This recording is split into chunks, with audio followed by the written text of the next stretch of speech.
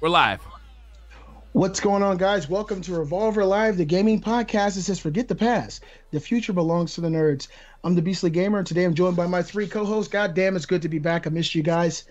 A founding member of the R&B soul singing group Destiny's Child, who ended up leaving the group because they wouldn't take the word child out of their name. Briar Rabbit, welcome. How you doing, my friend?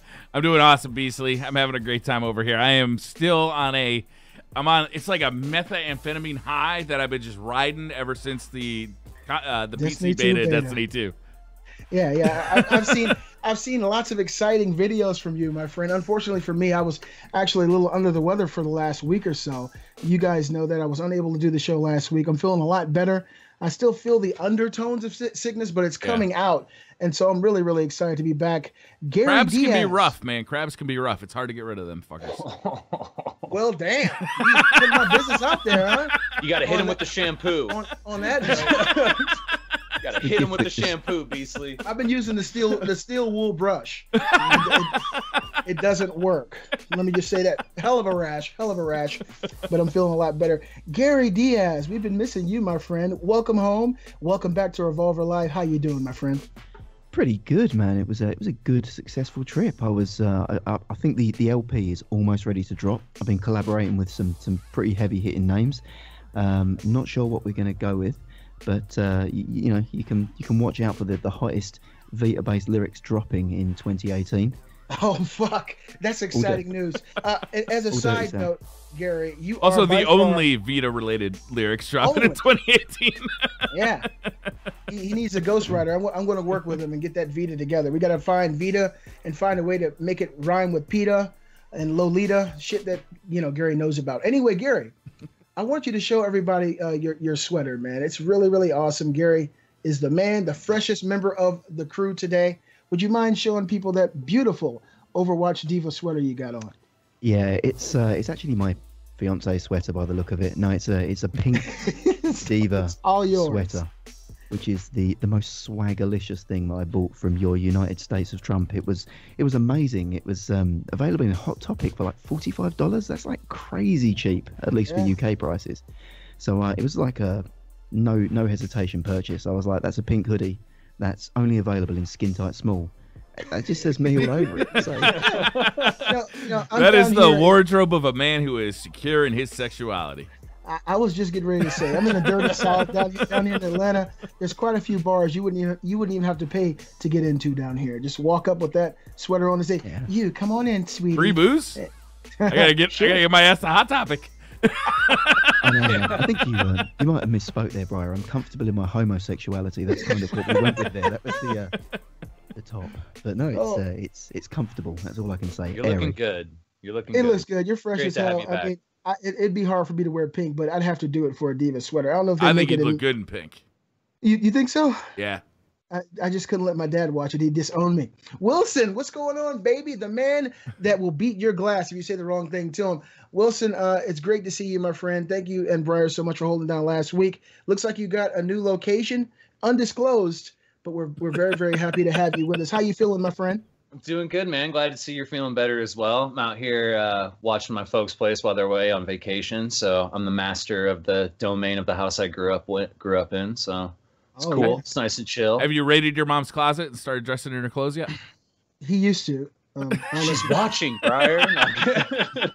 So no, you haven't yet. Not, no, first thing was raid the fridge, and there was some Lunchables in there, and I was cracking up because I was like, Lunchables in 2017. They knew you were coming.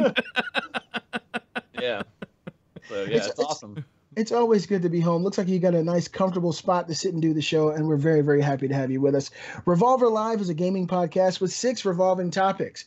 Become a part of the show by submitting your topics for consideration at revolvergamescast at gmail.com. That's revolvergamescast at gmail.com. We go live every Sunday at 6 o'clock p.m. Eastern at twitch.tv forward slash Briar Rabbit.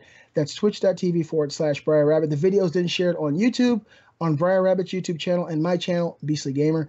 If you're unable to see the live feed or the video format, check us out in podcast form on Podbean, iTunes, or your favorite podcast service provider. And with that said, welcome to Revolver Live, episode seven. Welcome to heaven. What's going on, guys? Yo, Well. Gary, you just got home from Freedom Land. You just took a trip to Freedom Land, and all I'm hearing is bitching and complaining about the bathrooms. Yeah. What's going on with that, man?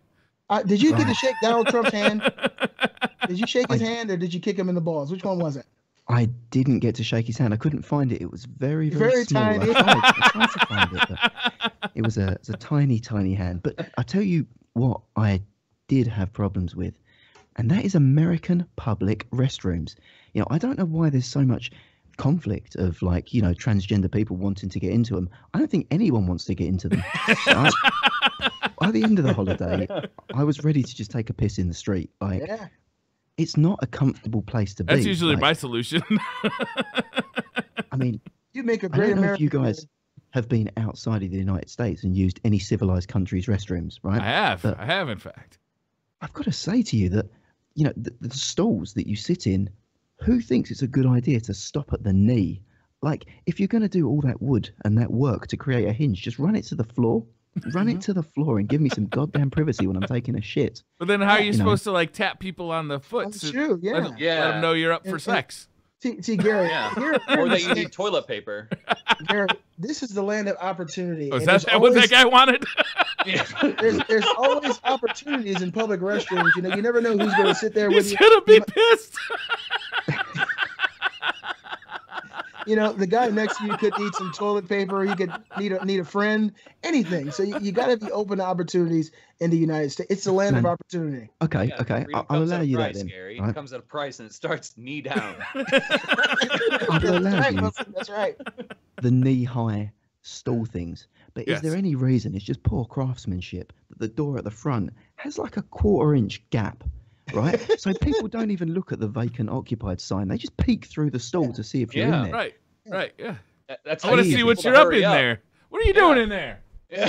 That's right. That's, like- that's how you get people to hurry up. I'm not sure if I want to use this stall when you're done.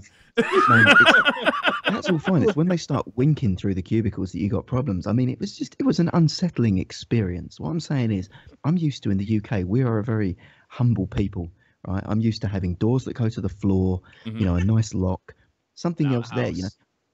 People will stand outside a restroom for like 20, 25 minutes without knocking. We're that reserved. But over there, man, I felt like I was being rushed. I felt like, you know, I had God knows who next to me with like hairy knuckles as they went to reach for their pants. It was just like, it wasn't a comforting experience. And I tried a lot of restrooms, man. I, it was pretty much a, a holiday of restrooms trying to find me one that I felt comfortable in. Yeah. But man, I just didn't shit for six days. That was the Yeah, solution. that's the way you do it, man. When you when you go on vacation, that's what you do. You just don't shit for six days. And when you're at home, you just make Yeah, sure you but- shit before you leave. Like, Yeah.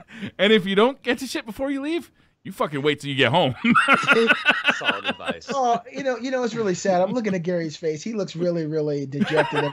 you know, due to his American experience.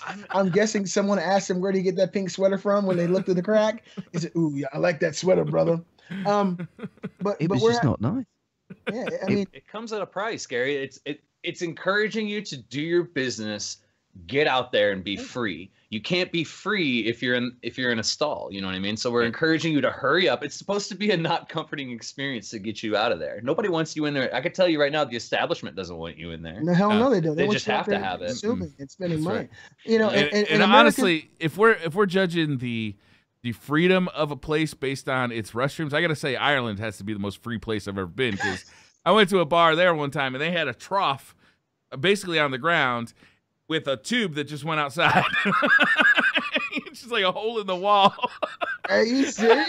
and you just you walk up, you just piss against the wall, it flows down the wall and out, out the We, outside. we have them. That's fine. I'll get my lad out and take a piss. But when I'm taking a shit, I need the privacy, man. We have them in the UK, like the urinal troughs, and they've got little cakes and pubes floating in the bottom. It's quite a, a reassuring sight for me. That that felt mean- like home when you said that. I need to address something. You talked about the little futuristic pissers that you guys got on the street. It's like a an area that you walk into and the door goes The, the self closes behind you. Yeah, and it self cleans itself. Your toilets kill people where you're from. At least ours are safe. The the self cleaning thing came on to 200 degrees and fried a man. You told me that, Gary. Okay, it killed Yeah, one that. Barry, what you man. gonna say It killed one man. How many people have died from intestinal discomfort because they're so, you know, perturbed entering a, a restroom in the United States? Yeah, but the Com- toilet itself didn't come and kill me. in The their to- intestines. Yeah, the toilet didn't come and pour liquid hot magma on me. I was not happy. You can't, the you thing as can't well. wipe that tomo- away, Gary. You, you think Not shock and awe was a term invented for war? No, it was invented by a guy who walked into a 7-Eleven bathroom. the other thing I found was that you guys just have no appreciation of Heinz tomato ketchup. Like, ketchup is like, how many places have I walked in? That face there, Brian, is the face that's greeted me across every day of my vacation. I'd go into Starbucks and I'd get like a nice toasted muffin or whatever they, they serve there, you know, the cheddar and bacon. Wait, wait. And, and uh, what? And then You, like, you asked for ketchup for your muffin at Starbucks? Are you serious? yeah, like little toasted English muffin, whatever it is. And Yeah. the guy, the, everyone looked at me with that disgusted face, I could just Yeah. asked them to take Yeah, a crap in yeah. my muffin. What the That's- fuck is wrong with you? Yeah. yeah, and you said it wrong. It's it's tomato. tomato. Say it with me. what I resorted to doing was robbing the buffet car at night and keeping a bum bag of tomato ketchup with me, so I was equipped wherever I went. It was fantastic. Have you ever Solve heard of your American? jelly or jam? Yeah, I don't know what the deal is. Cream cheese or butter? Yeah, cream cheese. I'll Put that in with the English sugar or fat in it. You know. Welcome. It was- Look, Gary, this is what you need to remember for your next visit to the States. If you're going to come to the States, you got to act like a statesman. You got to try some stateside uh, foods and, and, and embrace disgusting restrooms with four four foot high walls that you can see people sitting down in. And never ever put ketchup on any breakfast food uh, besides hash browns for the rest of your life. Yeah, we are It was- drowning in tomato ketchup over here. Trust me. Yeah, Oh, yeah. we're just using it in the right place. Yeah. You had no right baked places. beans, no baked beans, no Four? ketchup. Breakfast was ruined. and the Vic beer was really- cold. You asked for chips and they gave you potato chips. Do you call it, It do you call it potato or potato? It's potato, tomato. It's terrible. I'm I'm just glad, curious. He's I'm just very glad to be gone, If I'm honest with you, it was, and, and I was in Florida as well, which is like walking around inside an obese person's armpit. It was just Yeah. like I don't know. I don't know how you planned a Florida trip in August, but that was fucking stupid. Usually was, playing it in like December. it was sweltering, and well, it didn't help as well that like Florida or at least Disney World is like, you know, like Muslims go on a little pilgrimage to Mecca, and you know Catholics might go to the Vatican. If you're what I would call the term morbidly obese to the point that you have to go around in a scooter, it's like a homing beacon to these guys in Disney World. I have never seen a collection of them like tribes people, and they've all got these motorized scooters with fans blowing them from several directions. I think Ooh, don't they got fans? Were they in the classic flying V formation as they were all going through? Like, Man, I tell you what, like if you get a wife like that, you pay by the pound. These are some big ass people you guys had. I was I was impressed. If anything, Growing You know, big. I think We're it's just, growing big here. yeah. We it don't was fuck it was about. like showing a showing a sign of wealth. You know that you could eat, eat yourself into that size. It was it was impressive, man. Impressive. Freedom, freedom's a big Welcome to word. America. It's like WALL-E. Uh, you remember the movie, the, the Yeah. CG movie I WALL-E, where lived everyone it. I lived it for two weeks. It was great. It damn. was great. Thanks, Pixar.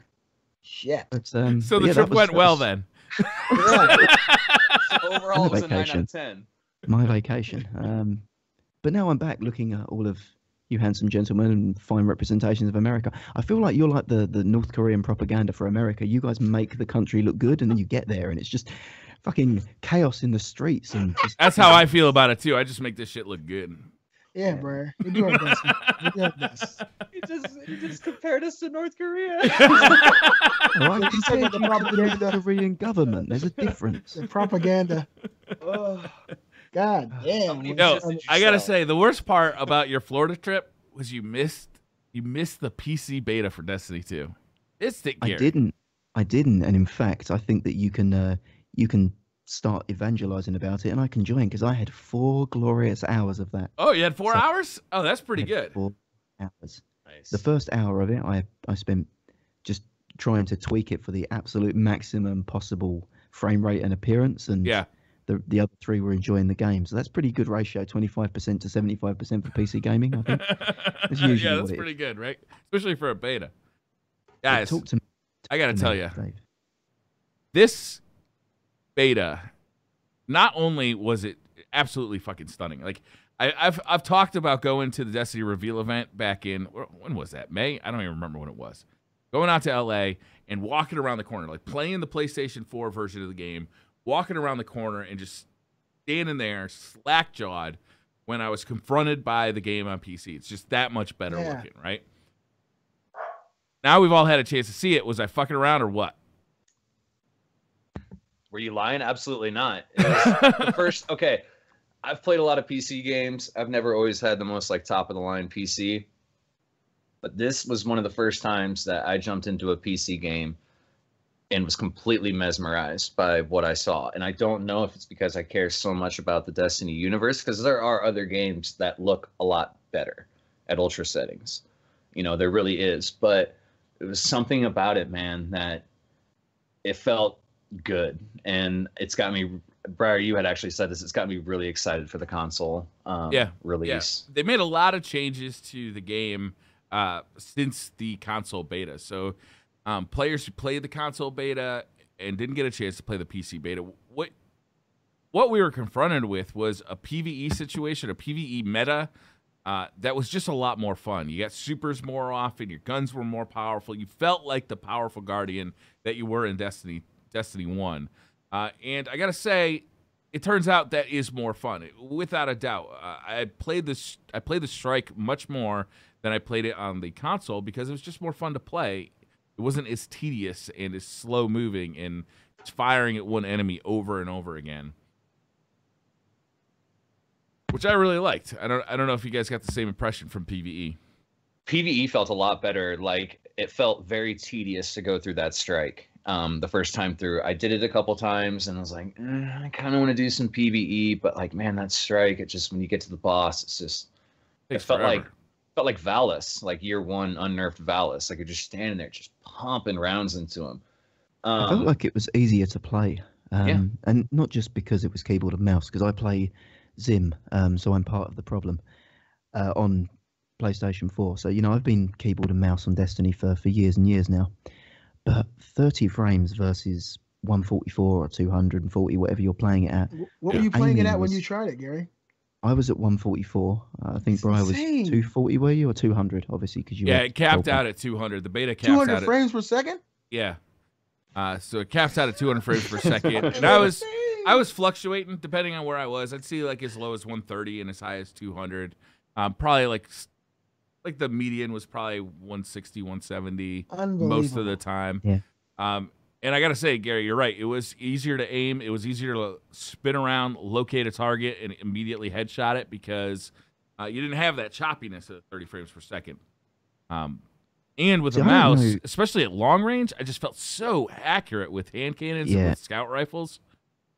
I was going to say, I don't know if the game is, and it, it might be just a, a, premature criticism, but what I got from PVE was that it didn't feel challenging in the slightest, and it could be partly because our power was more prevalent, our grenades were stronger, our supers were there, but mm-hmm. the Destiny enemies on a console, um, you know, you need a little bit of aim to hit them, hit their precision target spots. You know, on this, they're slow moving beasts with huge, you know, crit spots that you just couldn't miss uh, at least with a, a, mouse. I don't know if you got that point there. I mean, the strike that... wasn't that challenging. I didn't think the strike was that challenging on the console or on the PC. It was a little bit tedious on the console just because you had to stand there and fire at a guy's head for so long and then just like move on, move on, move on. Uh, whereas uh, the PC beta, you had more powerful weapons, so you definitely moved quicker. Um, the the the challenge of Destiny comes from damage, right? It's like the enemies doing a ton of damage.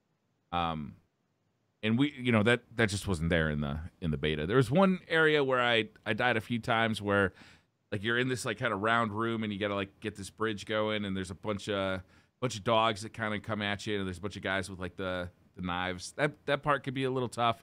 And then occasionally at the boss fight like the third phase could get a little overwhelming but for the most part yeah i would say it was pretty easy on the console and on the pc didn't have to aim down sights half the time with right. my uh with like especially with a hand cannon. I mean the reticle bloom didn't feel as drastic as it did before, but um the frames felt really good. Like all the particle effects, like I love jumping into PVE and just cranking the settings up to max.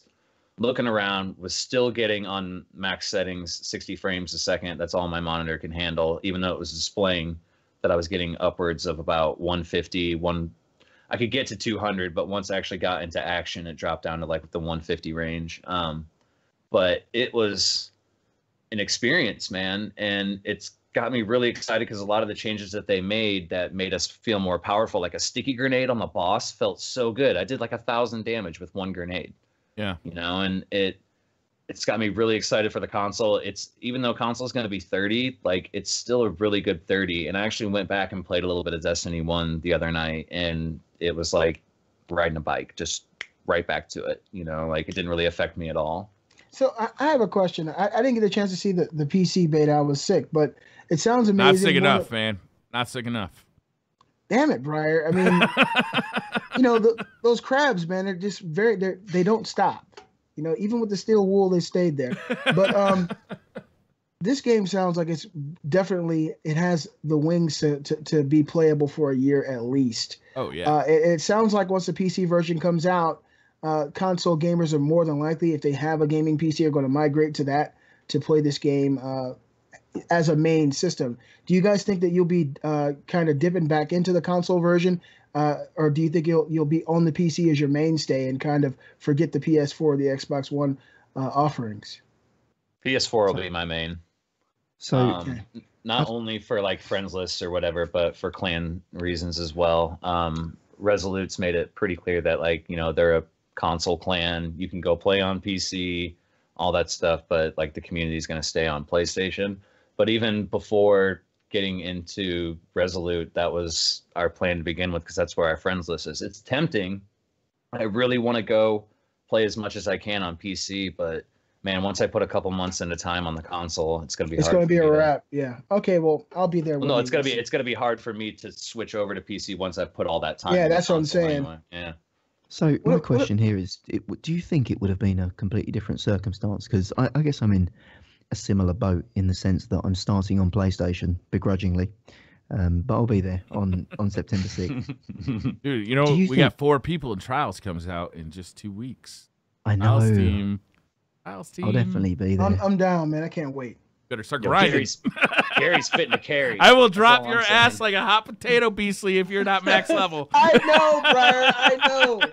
Shit. I mean, do you think that there would be a different narrative if you know we could look through our magical ball and uh, and all of the versions had dropped simultaneously? Would Yeah. you be starting on PS4? No, I would not. I would be starting on the PC. Uh, I would be starting on the PC uh, because I am a streamer, because I am a content creator, and I want to make content uh, that looks as good as it can. And if I can upload uh, a video that's in 4K 60 frames per second, hmm uh, you know, and that makes my content look a little better to the people watching. That's better, right? Uh, I will say though that even if I started on PC, the PS4 would be, I would be very quick to get on the PS4 and start grinding because also because I'm a content creator and I want to see those PS4 exclusives. You know, like that's a big part of it. Uh, also, most of my friends are on PS4 and I'm gonna want to play PS4. Yeah, I'd be if it was the same. If they were both releasing on the same day, I would still be doing PlayStation 4. Uh, mainly, I want to run through the campaign with Sam. We had a really good time doing that for Rise of Iron. So to actually have like a vanilla story to go through, kind of well, not really vanilla, but you know what I mean, like a new game story to go through. We're pretty excited about that. So are we. Kate and I can't wait actually to play through the campaign together. Maybe Mm-hmm. we'll double we'll double date with you guys, Wilson. Who knows? Let's do it. I'll tell you, Yeah, I've I'm- been I've been like kind of plotting out my week because, as we know, Bungie actually came out and said the raid is releasing one week after release, right? And uh, I'll be with the the Destiny Community Podcast crew trying to complete that raid first, right? We're gonna go we're gonna go for that race again. We're gonna go into a blind raid as soon as it releases again, and give it a shot. And that's a week to get from zero to you know max level or as high as you close as you can get to max level completely geared up for a raid and uh you know i Oh, like man. to bitch about it it's too much it's too hard but i'm actually really looking forward to it i'm looking That forward sounds to that like grind too man much. God, Brian. one week one week One week from zero to hero. yeah Your week is going to be fucked. I mean, it's right fucked on those seven days right? on your calendar because that's a lot, man. That's a lot of dedica- dedication, a lot of time, a lot of investment.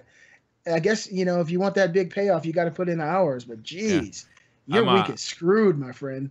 I'm hiring. Uh, I'm I'm gonna go to the local labor depot and uh, hire a few people to help me grind. You know, so I could sleep.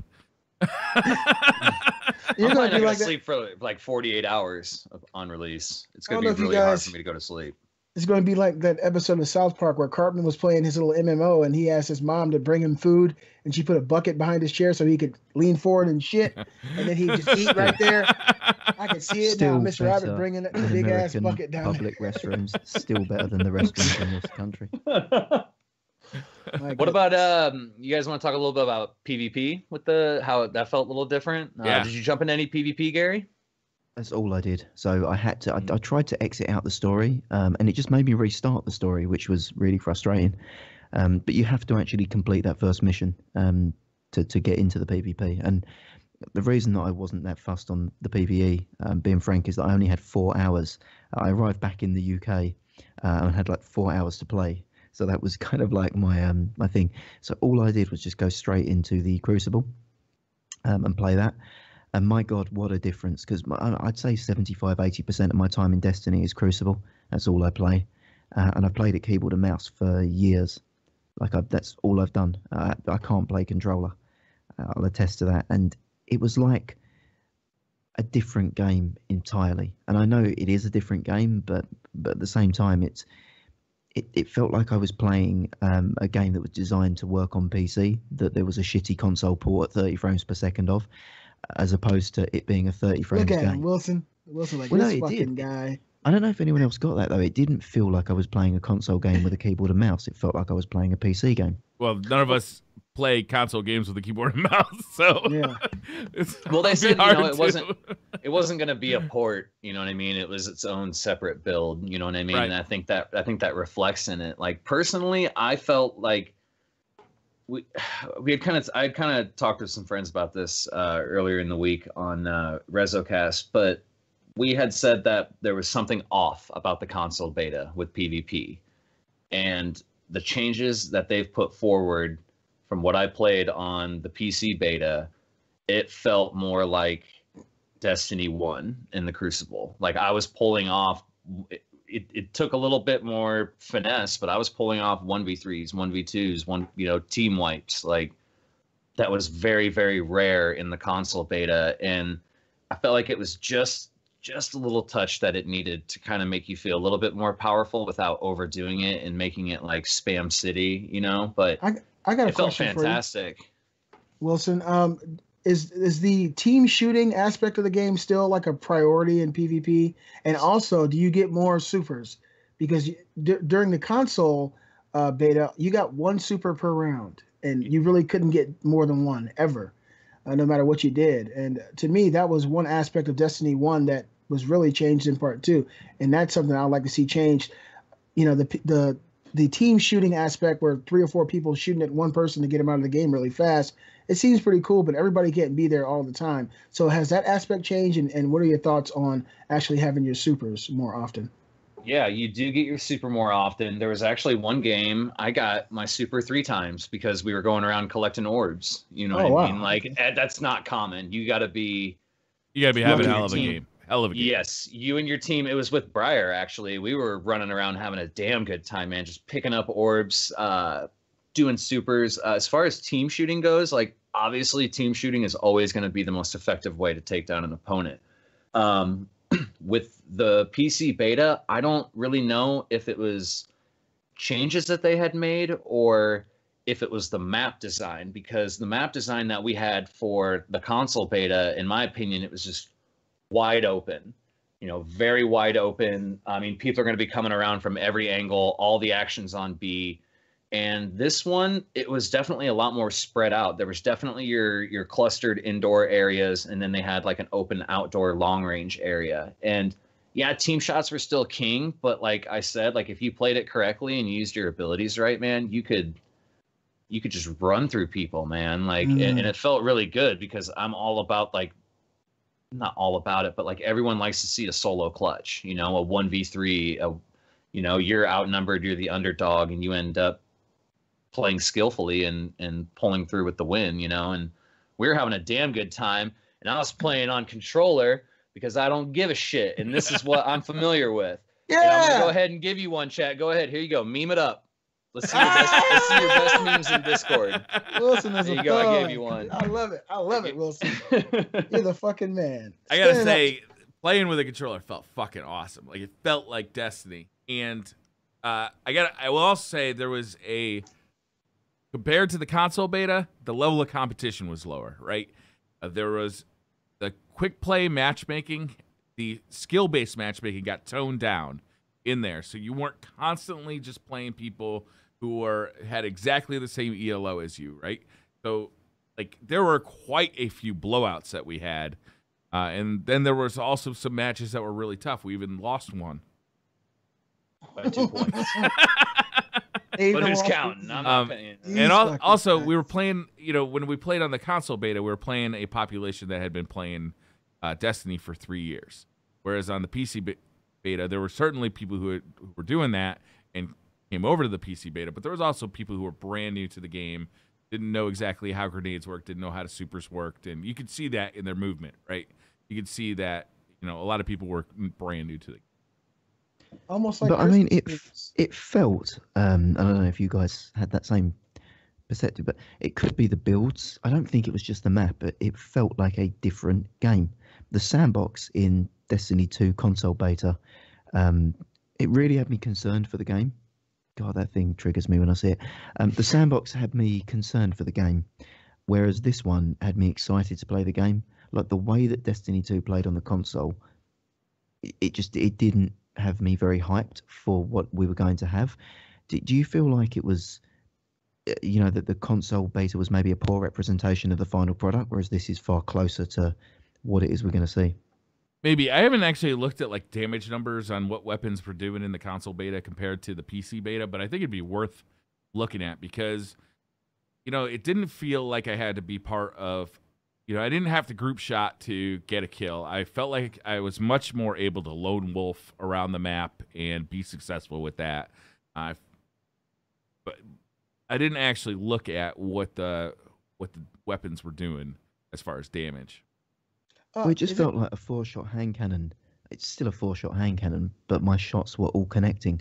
Whereas on the console, I was I was hitting at medium range, um, which is where the hand cannon's effective. They did And make some a- changes after, you know, based on feedback from the console beta, and they said that those changes, a lot of those changes would be reflected in the PC beta and then in the final game. So we'll have to see though, because they are also they are going to have slightly different metas, right? Is the Bungie's come out and said that the the PC beta in or the PC version of Destiny and the console version of Destiny may feel a little bit different. And and Gary, another thing to, to take into account. Now, I haven't played the PC version, but betas, for the most part, are ways for developers to, to tweak and fine tune their product. And you know, initially with the the console beta, there was a lot of complaints and people felt that certain things needed to be tweaked, and, and that was reflected in the PC version. So I don't think that it was a poor representation. It was probably just the first represent, representation of what they were going to put out for a beta. And as time goes on, developers change things, tweak them for the better. And it sounds like for, at at least from what Briar says, uh, these changes will be reflected in uh, the final product on on consoles as well. So Yeah, I know Gary was making fun of my video a little bit earlier, but I'm not fucking around that the the PC beta did make me more excited for the console release because of the changes they made between the console beta and the PC beta. Like the game feels more fun to me now than it did yeah, uh, during the last beta. like I watched that video, and actually hearing you say that on your video was the thing that got me more excited for the console version. When you announced these changes and the fact that they were coming to the console version, that really got me hyped. And today, listening to Wilson stand up for the console peasants, thank you, sir. I feel really good about playing this on my PS4 now. They want to ban So- us, Beastly. They want to kick us off. They want to take the aim assist off of the controllers. We're OP. Oh shit, that's I just crazy. want to point out that I was using an Xbox 360 controller. Still the best Ooh. controller ever And- made. yeah, Gary, cover your ears. My buddy was using a Mad Catz 360 controller. and Mad we were Catz. shitting on people, just Mad shitting on them. Cats. We were rolling, man. We were rolling hard. It was Oh, fun. was- shit. It was Gary- fun, and it is an Gary is not issue. liking that shit. it is an issue. It's a topic of hot debate, and something definitely needs to happen with it. But I'm not going to offer any solution until then. I'm just going to use whatever and don't apologize. So Yeah. Yeah. I mean that that video I said to you earlier, Briar, but you know, you you saying that playing the the greatest version of Destiny has made you more excited to play the 30 frames per second, you know, old car that's sitting on the uh, the driveway. That just that reeked to me of a guy coming back from a bachelor party in Vegas and talking to his wife. You know, how was the trip? And you're like, it was nice, but you know, it's nice to be home too. Sometimes, you know, it's yeah, it's it's good to be sitting here. I don't need to be at the the strip bar at 9 a.m. You know, having the all you can eat buffet and gambling all night, drinking and having fun with my buddies. It's it's nice to be at home. Where's the yard? Let me cut it. That's kind of that's the tone that you set. I think. What a fucking asshole this guy is. Where- Where's where's this fucking guy? Holy shit. you're basically saying all the hookers in Vegas make you miss home, eventually make you appreciate home more. Is that what you're saying?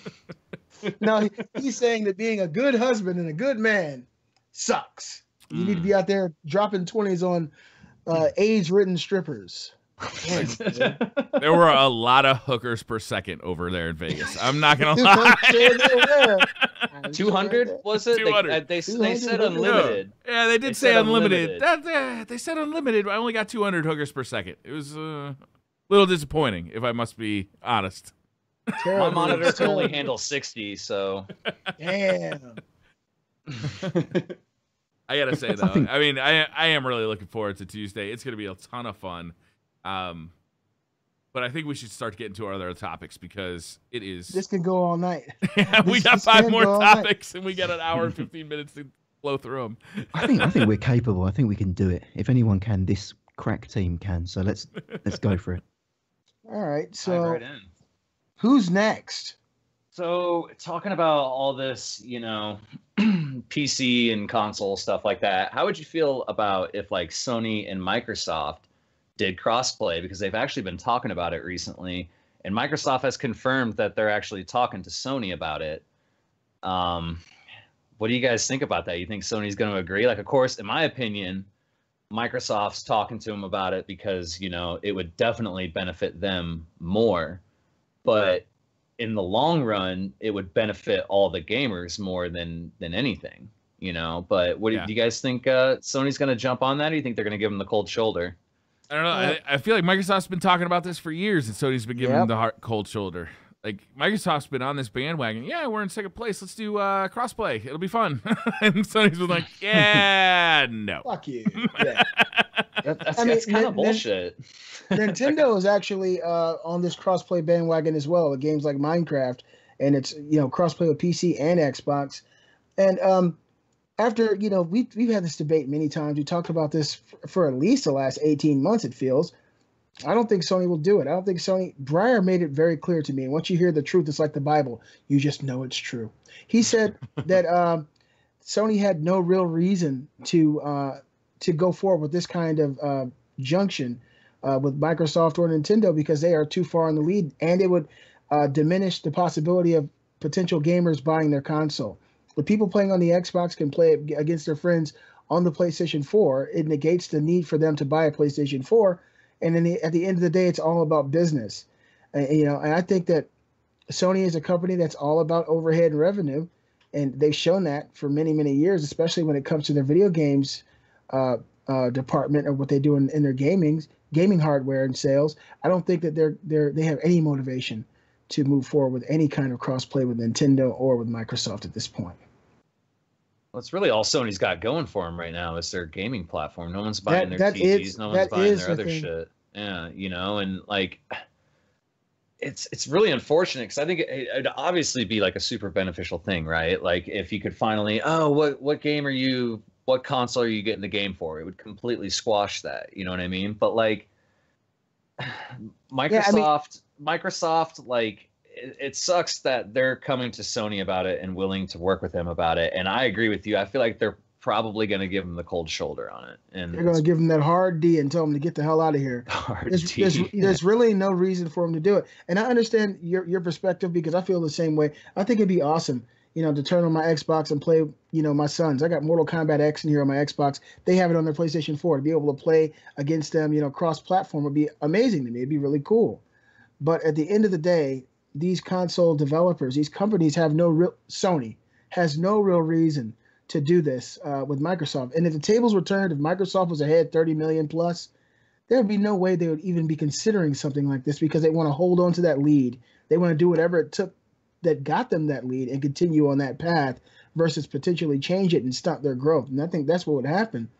You know, if you got people with the Xbox and they've been waiting all year to get a PlayStation for Christmas, and then all of a sudden they can play against people on the PlayStation, they don't need to buy a or PlayStation if they can play Christmas like time. you know co-op games with their friends. You know they, you know we've got we've got multiple people probably in chat right now. I see them in chat right now that I hardly ever play with because they're on the Xbox. If I could just boot up my PlayStation, they could boot up their Xbox and we could play Destiny together. We could raid together. God, I'd be so happy if we could do that because I wouldn't have to just grind another character on the X- Xbox just so I could play with, you know, those people. You know what I mean? It's like God, it would be so it would be so good if that happened, but I just don't I see. mean, a bit of perspective. So a bit of perspective on it, though. I mean, it's not just PlayStation. You know, so you look at Sony and say, "Oh, Sony's ahead. Sony's ahead." Exclusively in the console space, absolutely, I, I agree. You know, they are outselling Xbox two to one, but you've got to think of Microsoft or Windows as a platform. Microsoft have got that in their back pocket. You know, Microsoft aren't this like losing puppy that we should be pitying and thinking, "Oh, why can't they work?" You know, games like PUBG, Dota, League of Legends, Counter Strike. None of them are on PlayStation. They're sitting on a Microsoft platform. That's what they're being played on. You know, these are they're getting played on a Microsoft platform, but they're not getting sold by Microsoft. Right? They're they're on a they're on a Valve platform, right? I mean, yeah, you play them in Windows, but if you had an if you had a chance to fucking use any other operating system in the world, you, you'd Yep, would. gladly take it and still keep Steam. You'd gladly you'd be so happy, right? Yeah, I know, but I'm just saying that there, there's a platform that's owned by Microsoft that all of this is available on. You know, Sony, I guess inadvertently because they've got such a controlled ecosystem, make revenue on the games there. But I, I don't know the intricacies of the business. I don't know if Valve has to have a backhander into Microsoft to operate on their platform Oh. uh, or on their thing. I, I don't know. I, I don't know where the, the money goes, but I'm just making the point that PC, which is a Microsoft platform, or Windows, which is a Microsoft platform, it, it's not the, the, the kind of you know the the uh, the lame duck of gaming. They've still got a predominant large part of the market that, that only play PC. It's a, What it's did a they much say with their? Ga- oh, go ahead, Briar. it's much more murky waters over on the PC. Is yeah, you're playing on Windows, but you're basically, as far as the gamer's concerned, it's just the shit that makes your computer start up. So you can go to Steam and download a game, or go to Blizzard and Yep. download a game, and then just take over the full screen of the game and not have to worry about it being Windows anymore.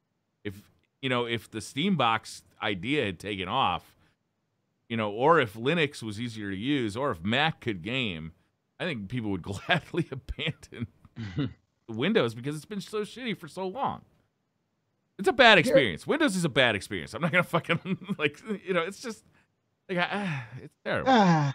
uh, I love Windows, but I don't use it for as many things as you do. Like you do a lot of content creation, so I can understand the frustration with with Windows for sure. Gary, do you think it's a possibility that Sony would, you know, fold to the pressure? I know there's a lot of gamers who play PlayStation who've appealed to Sony to do certain things for years. Uh, stuff like le- allowing us to change our PSN names and even doing this crossplay uh, idea. Do you think that Sony is is maybe thinking about it, possibly doing it with with Xbox or Nintendo, or do you think there's really no way that they, they would go forward with it? I think that if it is ever done, it will be done on a game by game basis. I don't think it will be an open architecture. I think it would be it makes sense for us from a commercial perspective to open up this game to crossplay. There are Um, games that do it now, right? Final Fantasy 14 is crossplay on PlayStation. Isn't Yeah, it? with PC. It yeah. is with Microsoft, well, with a PC, so it's with Yeah. Microsoft. And Rocket platform. League is that Rocket Rocket League is too, yeah. PS4 Rocket as well? League's crossplay, and they're talking. Microsoft's talking about crossplaying with Nintendo on Yeah. Rocket League. So that's that's pretty Mine- huge, man. Rocket League is huge. Like that is a very big game, and Mhm. people don't really seem to have many complaints about the crossplay in that. But like, do you guys think this that like crossplay needs to happen for both the success of um, Microsoft or maybe even like the future? Well, if they're gonna do it, they got to remove gaming? aim assist from controllers. I mean, it's overpowered in Rocket League. The I hell? think that. do you know what though? That looping back onto that topic, I don't care how much aim assist you got in your controller. I'm still going to destroy you if I'm using a mouse and keyboard. Let's be honest. It's you know, I think it's bad mouse and keyboard players that are complaining. We'll complaining. about find that. out. Like, October all I know is I've been reading like the Bungie forums. I've been reading the Bungie forums and Reddit, and people are pretty upset about controllers having aim assist on the PC. Just saying, you guys talk all this big game the whole time. You know what I mean? Like, oh, we'll destroy you guys. We show up on the scene, and all I see is a bunch of bruised butts going home. Oh man. shit, Wilson! Yeah, It's fine. You, see, you, just, life, you, Wilson. walk, you walk around a controller slowly and you watch them telegraph around as they're hitting their stick slowly. It's just, it's just a, a primitive form of controlling a game. I'll give you that. I'm gonna get a holster for this thing. Get him, Wilson. I, I don't think that uh, crossplay is paramount for the success of Microsoft. I don't think. I, I think it's probably another gimmick they could use, similar to their uh, backwards compatibility initiative. I think it's something that makes them look good to the, the gamers, but I don't think it will really change the dynamic of their success. I think Microsoft, in order for them to have sustained success, they need to have sustainable exclusives. They need to have more games that people can only play on their consoles. That's the one area that Microsoft falls behind on. They do have, you know, a few notable titles, but not very many. And when you see what's going on with their competition, there's game after game after game after game being released that you can only play on PlayStation. That's the issue that Microsoft is having. If they have more meaningful exclusives, better crafted games, I think that's what'll be paramount to their success. And I think stuff like this cross-play initiative and you know being able to play backwards compatible games really is a non-factor. Well, they've said that it's not about the platform; it's about the software. Before, you know what I mean. So that was kind of like their what was that? That Microsoft Play Anywhere program, or whatever. You know, that's that's pretty huge too. But like, you know, they they definitely stated that you know they want to focus on the software, They need to. and then they release the One X. But hey, just saying. Do we, man? We've got to talk about the One X sometime because I give like the smallest shit about that thing now. But that's a, a topic for another week. The My wife asked me the the the one the, The what? One X, the uh, the Xbox One X. I, Oh, oh. like I give I zero craps about that. That's a, Kate topic for me, another you week. know- Still thinking Scorpio. He's still. She asked me today, was I going to pre-order? it? I said that thing is pretty much already sold out, and there's no real reason for me to get it right now. So maybe in the future. Yeah, that's Put kind of my problem with it right now. I mean, I want one, but I, I want one after they release a bunch of fucking badass Games for for it, it. yeah. Yeah.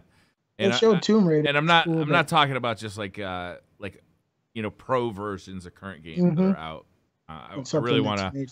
Yeah. All Uh, what's next? What else we got for topics this week?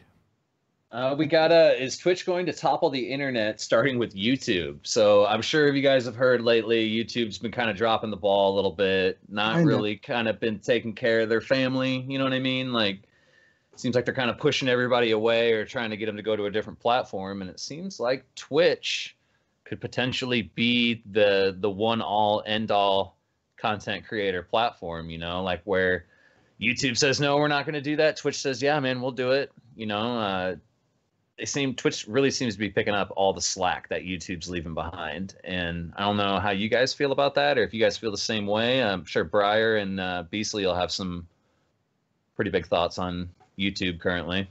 I, I think that it's definitely a, a major factor in the future of YouTube. Um, YouTube, I'm Inner Black Ninja. I'm heavily considering my YouTube diss track. I've actually been really thinking about it.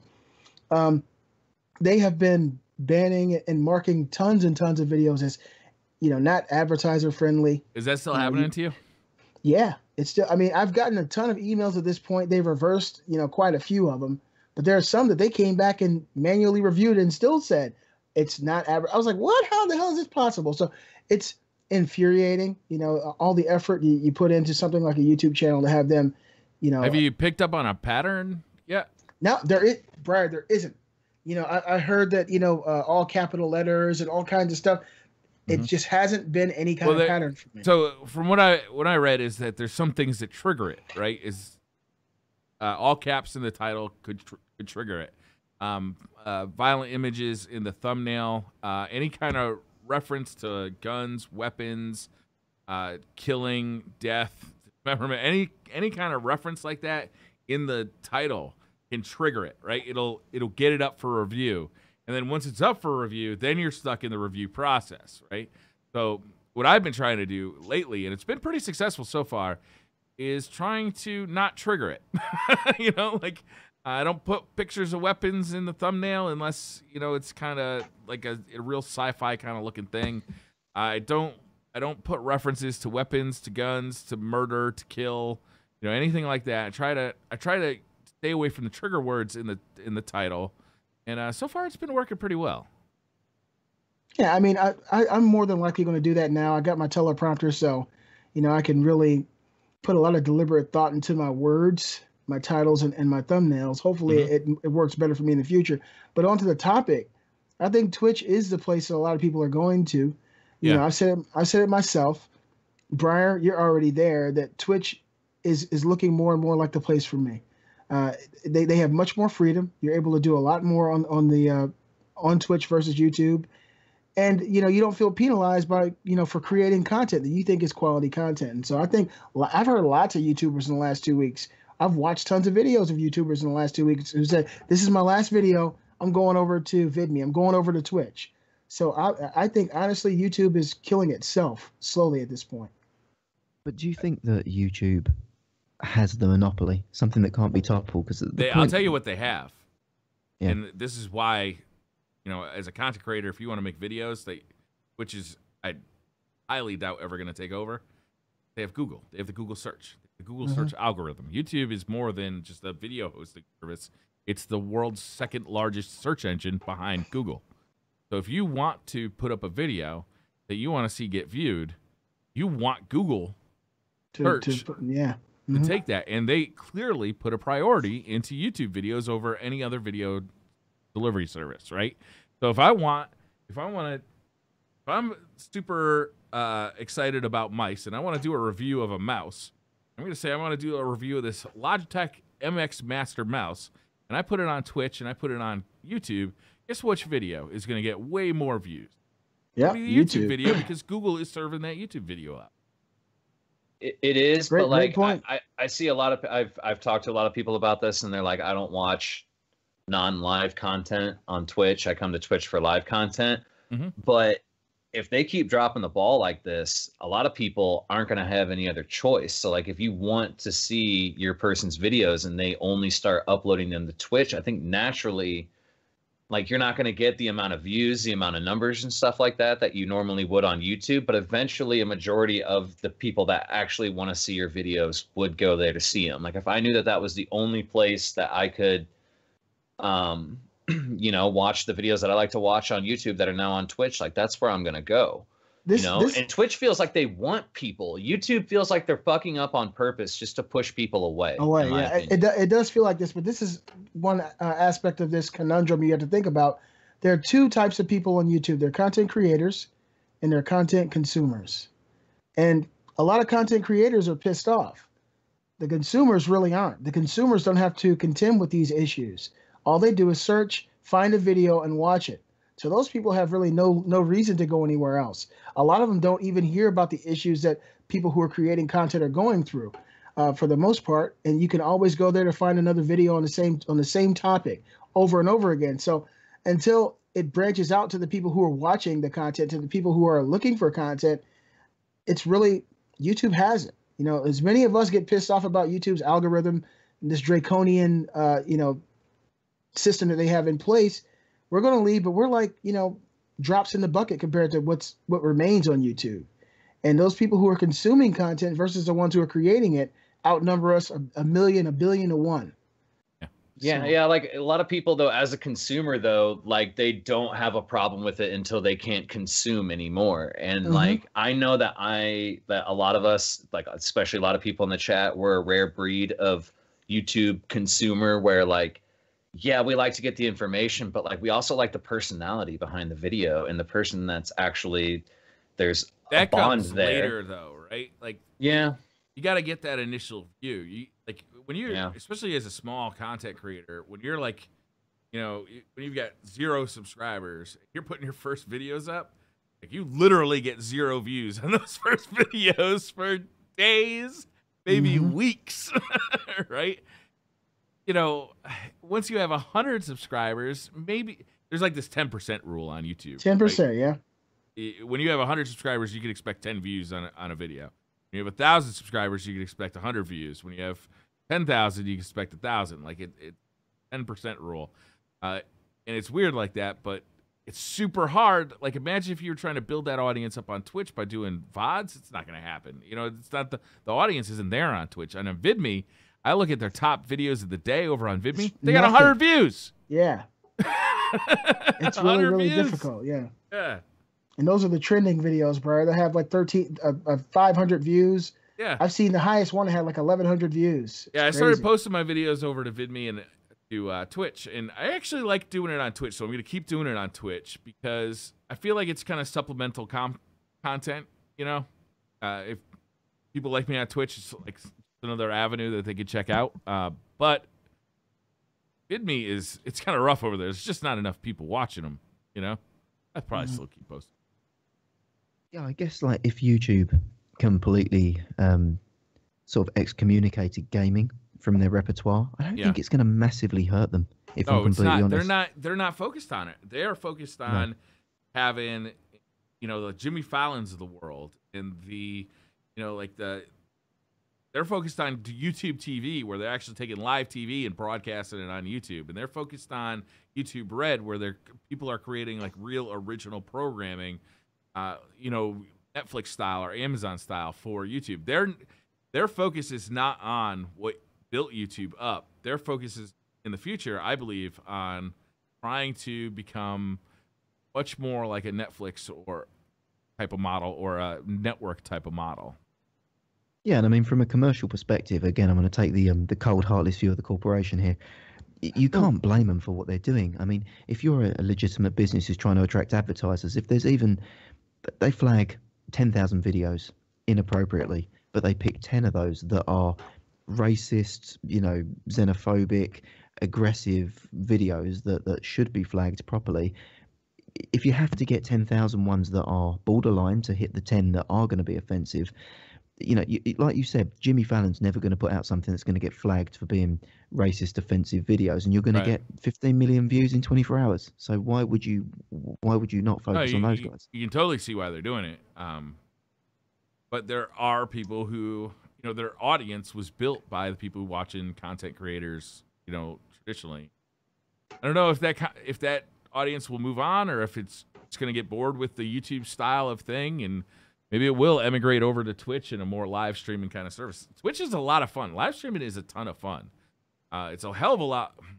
It's a different kind of work, I would say, than making YouTube videos. It's not, you know, Twitch can feel like work. It can feel like just playing video games, uh, but it's not like you're just sitting there like, you know, writing a script and then editing a video for.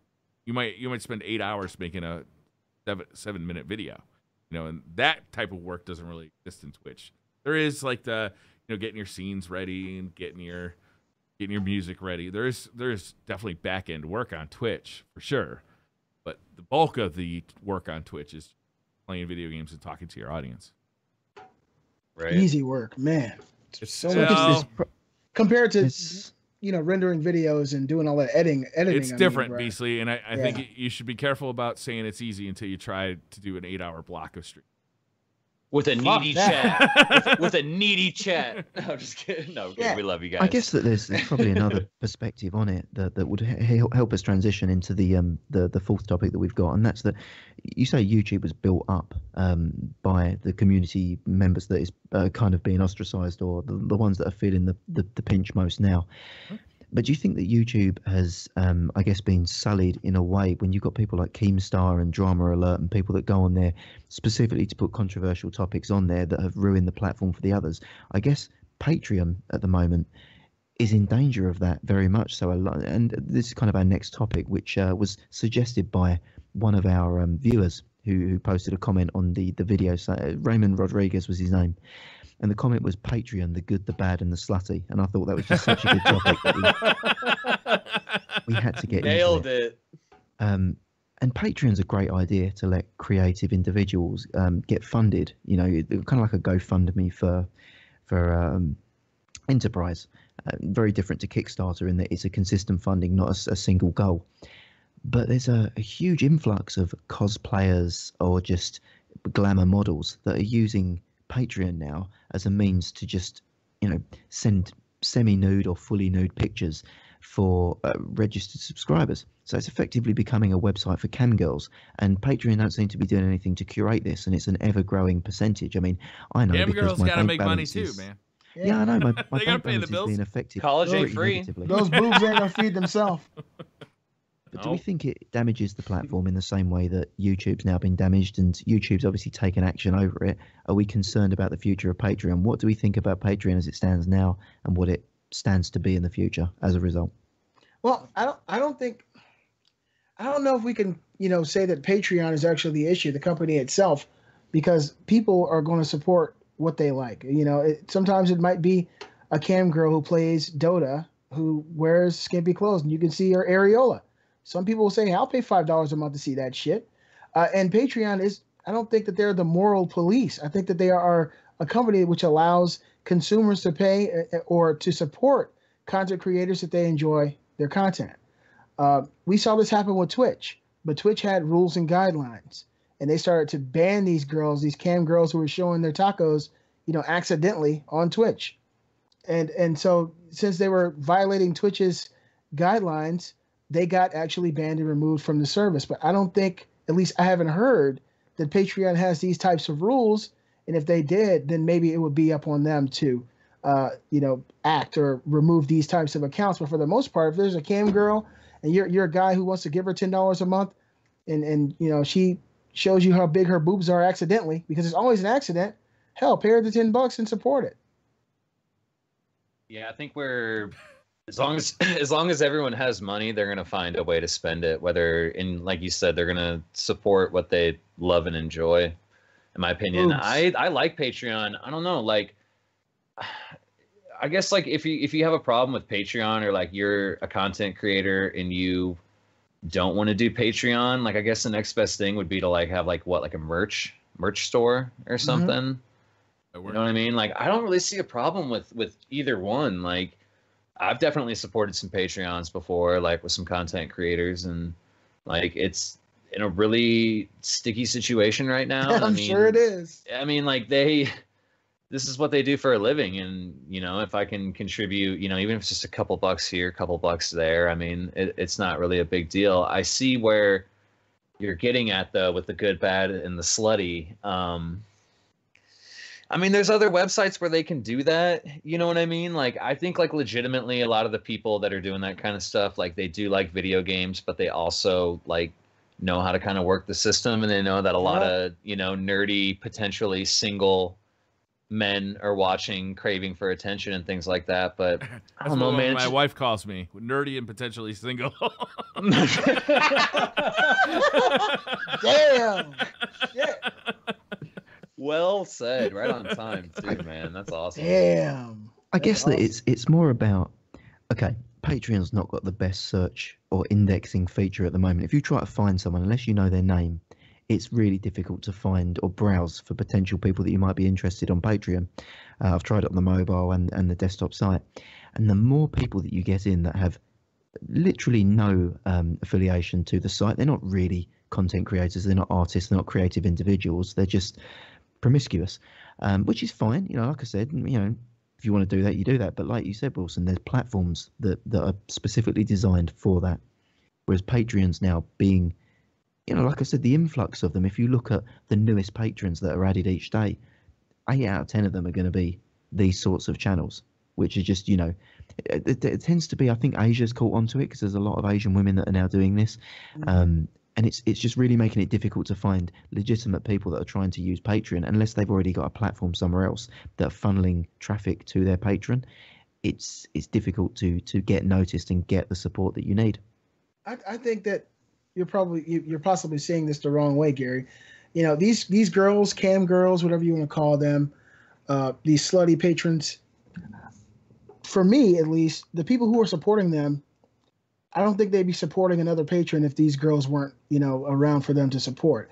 I don't think that taking money away from these. I think that they have a particular audience, and I don't think if they disappear from Patreon, this audience would go and, you know, support another Patreon user who is building robotic cars.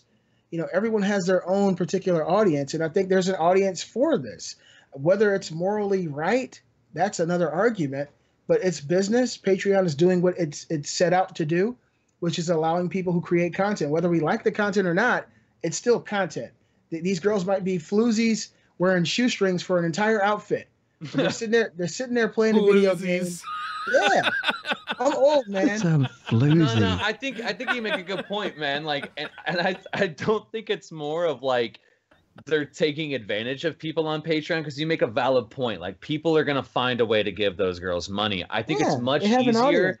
I think it's much easier to set up a Patreon and get more exposure by saying Patreon is a word that a lot of people know. Like I know some people haven't heard of Patreon. It's basically just a way to support somebody doing anything that they want to Mhm. do. It's just your way of supporting them, sending them money. Um, I feel like it's just a platform for them to get their name out there more as I mean, because like look at it this way. Would you rather set up a patreon or would you rather just set up a website and randomly email people hey send me paypal me a hundred bucks and we'll chat. Yeah, you know what i mean? It's a lot easier to get your name out there on patreon and patreon is probably got some sort of algorithm with google you know what i mean? Like or yahoo or all the other search engines and i think it's just m- much more exposure for these people. But i think you nailed it on the head man. These people are going to send those kind of people money regardless of what platform Every- they're on Everyone they're- has an audience, yeah, and that and audience is they're there not- for that. yeah they're there for exactly they're there for what they want to see and that's kind of the point of patreon i think it's kind of hard to take money from other people because people are going there for what they want to go there for I mean, you're not, yeah, you're absolutely right. I mean, if you want to see a girl with TNA playing, you know, League of Legends and talking like her brain's the size of a acorn, and you want to give her five dollars a month or ten dollars a month, and she disappears, you're not going to go and watch a guy build Transformers and give him that five. You're going to find another girl who does that. You know, this that's the world we live in. People enjoy that kind of stuff. We're human beings, it's human nature, and like I said, it might be morally corrupt, you know, to, to Yeah. see this kind of stuff on Patreon. But Patreon ultimately is a service which allows people to pay for content. And whether we like the content or not, it's content to someone. They're creating something for someone and they're uploading it to video sharing sites, YouTube, uh, Twitch, wherever they might be sharing it. And Patreon's really doing what it's supposed to be doing here. Brian, mean, like- how do you feel, Brian? Uh, you haven't said anything about this. I have literally given Patreon like no thought in my life. so I'm like listening to you guys talk about it and learning basically. I, I agree with a lot of what you said, Beastly. It's like it seems to me that if if people want it and people are willing to provide it, and this is a pretty good way of going about it. And that, Yeah. that goes for, you know, the sexy stuff and it goes for anything. You know, if uh yeah. you know if if somebody's doing something that you really want in the future and you know you, you want to support it it seems like a good way to go i know there's like a stigma about it right now but I don't know it seems like a fair transaction to me I, mean, I feel like there's bigger problems out there with like kickstarter and yeah. um gofundme what was the one the, the fuck fucking kickstarter Kick- i tried to get my vr goggles on kickstarter and they said they literally sent me an email that said fuck you. Bold underline that's two iphones and some styrofoam asshole. They uh things that, what, what was the one kickstarter where the guy did like a salad? Did you guys remember that the salad kickstarter? Yeah. and the guy made like $250000 yeah. He's like if you pledge this much i'll live stream making the salad the, the fruit salad. That's what it was. It was fruit salad. Or if you pledge this much i'll go somewhere and you guys can come visit me and we'll all eat the fruit salad together and all that stuff. And this shit went viral. And i feel like like I said, people are going to donate to what they want to donate to, but I feel like shit like that is more taking the attention away from like actual ideas, you know, Mhm. like, you know, things that could potentially benefit people or taking the light away from yet another cash grab. You know, what I people mean? are, people are attracted to ridiculousness, Wilson. People are, you know. yeah. it, it, it it's a good Speak idea for about it. everybody to yeah for people to be just you know on point and thinking about progression in life but a lot of people get you know drained by the norm and when they see something outlandish they want to be a part of it they want to support it they want to you know touch it they want to hear it and that's what happens with these kind of stories people just want something that falls outside the realm of normalcy and just makes things grandiose and crazy. And and sometimes people who have, you know, some people have what they consider boring lives, and to be able to be on the internet and be a part of something crazy like that, a lot of people will jump at that opportunity. That's a good point. Okay, I think we've settled it then. Cam girls win. Absolutely. They're here to So you- stay, Gary. They're here to stay. I remember uh, is it more when I first joined Twitch and I was kind of familiarizing myself with it. Is uh, there was a lot of talk about how you know the the cam girls would get on Twitch and like because they were showing you know cleavage and stuff, they'd immediately get a bunch of views and a bunch of subs, and uh, that like real quick it was explained that actually they're not even like looking at for the same audience you are, right? It's like the people who are watching a cam girl are not even they're they're not at all interested in what you're doing. you know, like it's just because like it's so it's very it's a weird thing like thinking about it, but the people who are upset that you know cam girls are getting a bunch of money on Patreon, they they think they're sucking up all the Patreon money. That's not what's happening. they're not No. they're not taking your money. That Mhm. money was going to porn in some way or fashion Yeah. somehow. Yeah, like when I show up to a Twitch was- chat. this is just the vector it's headed. yeah. Yep. W- when I show up to a Twitch chat, it's very much for the community. How is everyone doing today? What's everyone been up to? What's everyone doing in the world of Destiny? Yeah. Those kind of things, those people are showing up and they're not really there for the chat, the No, they're community. they're, there- there for their own needs. I love the, uh, the, layers, you know, it's like the, I, I the layers of money laundering and filtration of the pornography industry. You know, it was, it was going to hit street level at some point. We're just, you know, there's a The porn different industry entrance has point. been savaged by you know free porn on the internet. That's Yeah. fascinating. I was, I was watching a uh, Joe Rogan podcast about it. Uh, he's, it must have been two weeks ago. He had a uh, he had a guest on who did a documentary about how um, the advent of YouPorn had basically savaged the pornography industry. And while it sounds like you know this is a, a shady you know kind of thing to be talking and learning about, it was actually fascinating how this one guy came in and basically created a website and just like just wiped out an industry. like a complete industry is just gone now. Like Man, Yeah. it's pretty it's fascinating. interesting. It's an interesting topic. Do you ever catch any of? I don't know if you see him in the states, but Louis Theroux does like documentaries. I don't know if you've ever seen I any of think that might have been the guy who was on the Joe Rogan podcast. Louis Theroux, British guy. Um, Yeah. know, yeah. He he went to um. th- th- This is where he got his source material. So he did Louis Theroux does porn. Um, he didn't actually do it. He went and spent a week going through the industry, and he did this in the early 2000s, and went around and saw the lifestyle they live and saw what they did and how they lived. And he went back 10 years later, after the advent of it, and saw like the destitution, like you say. It was just like. You know what had happened and the lives people were living post on from it. Yeah, it was fascinating stuff. Yeah, I'd uh, Yeah. I'd advise all our viewers to do all your own individual research tonight. you know?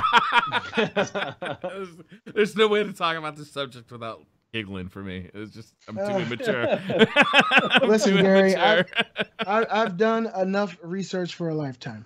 Um, all right, so the next topic is one that really touches me, and probably my other hosts as well on some level. I know Briar, you're one of the guys that feels the same way.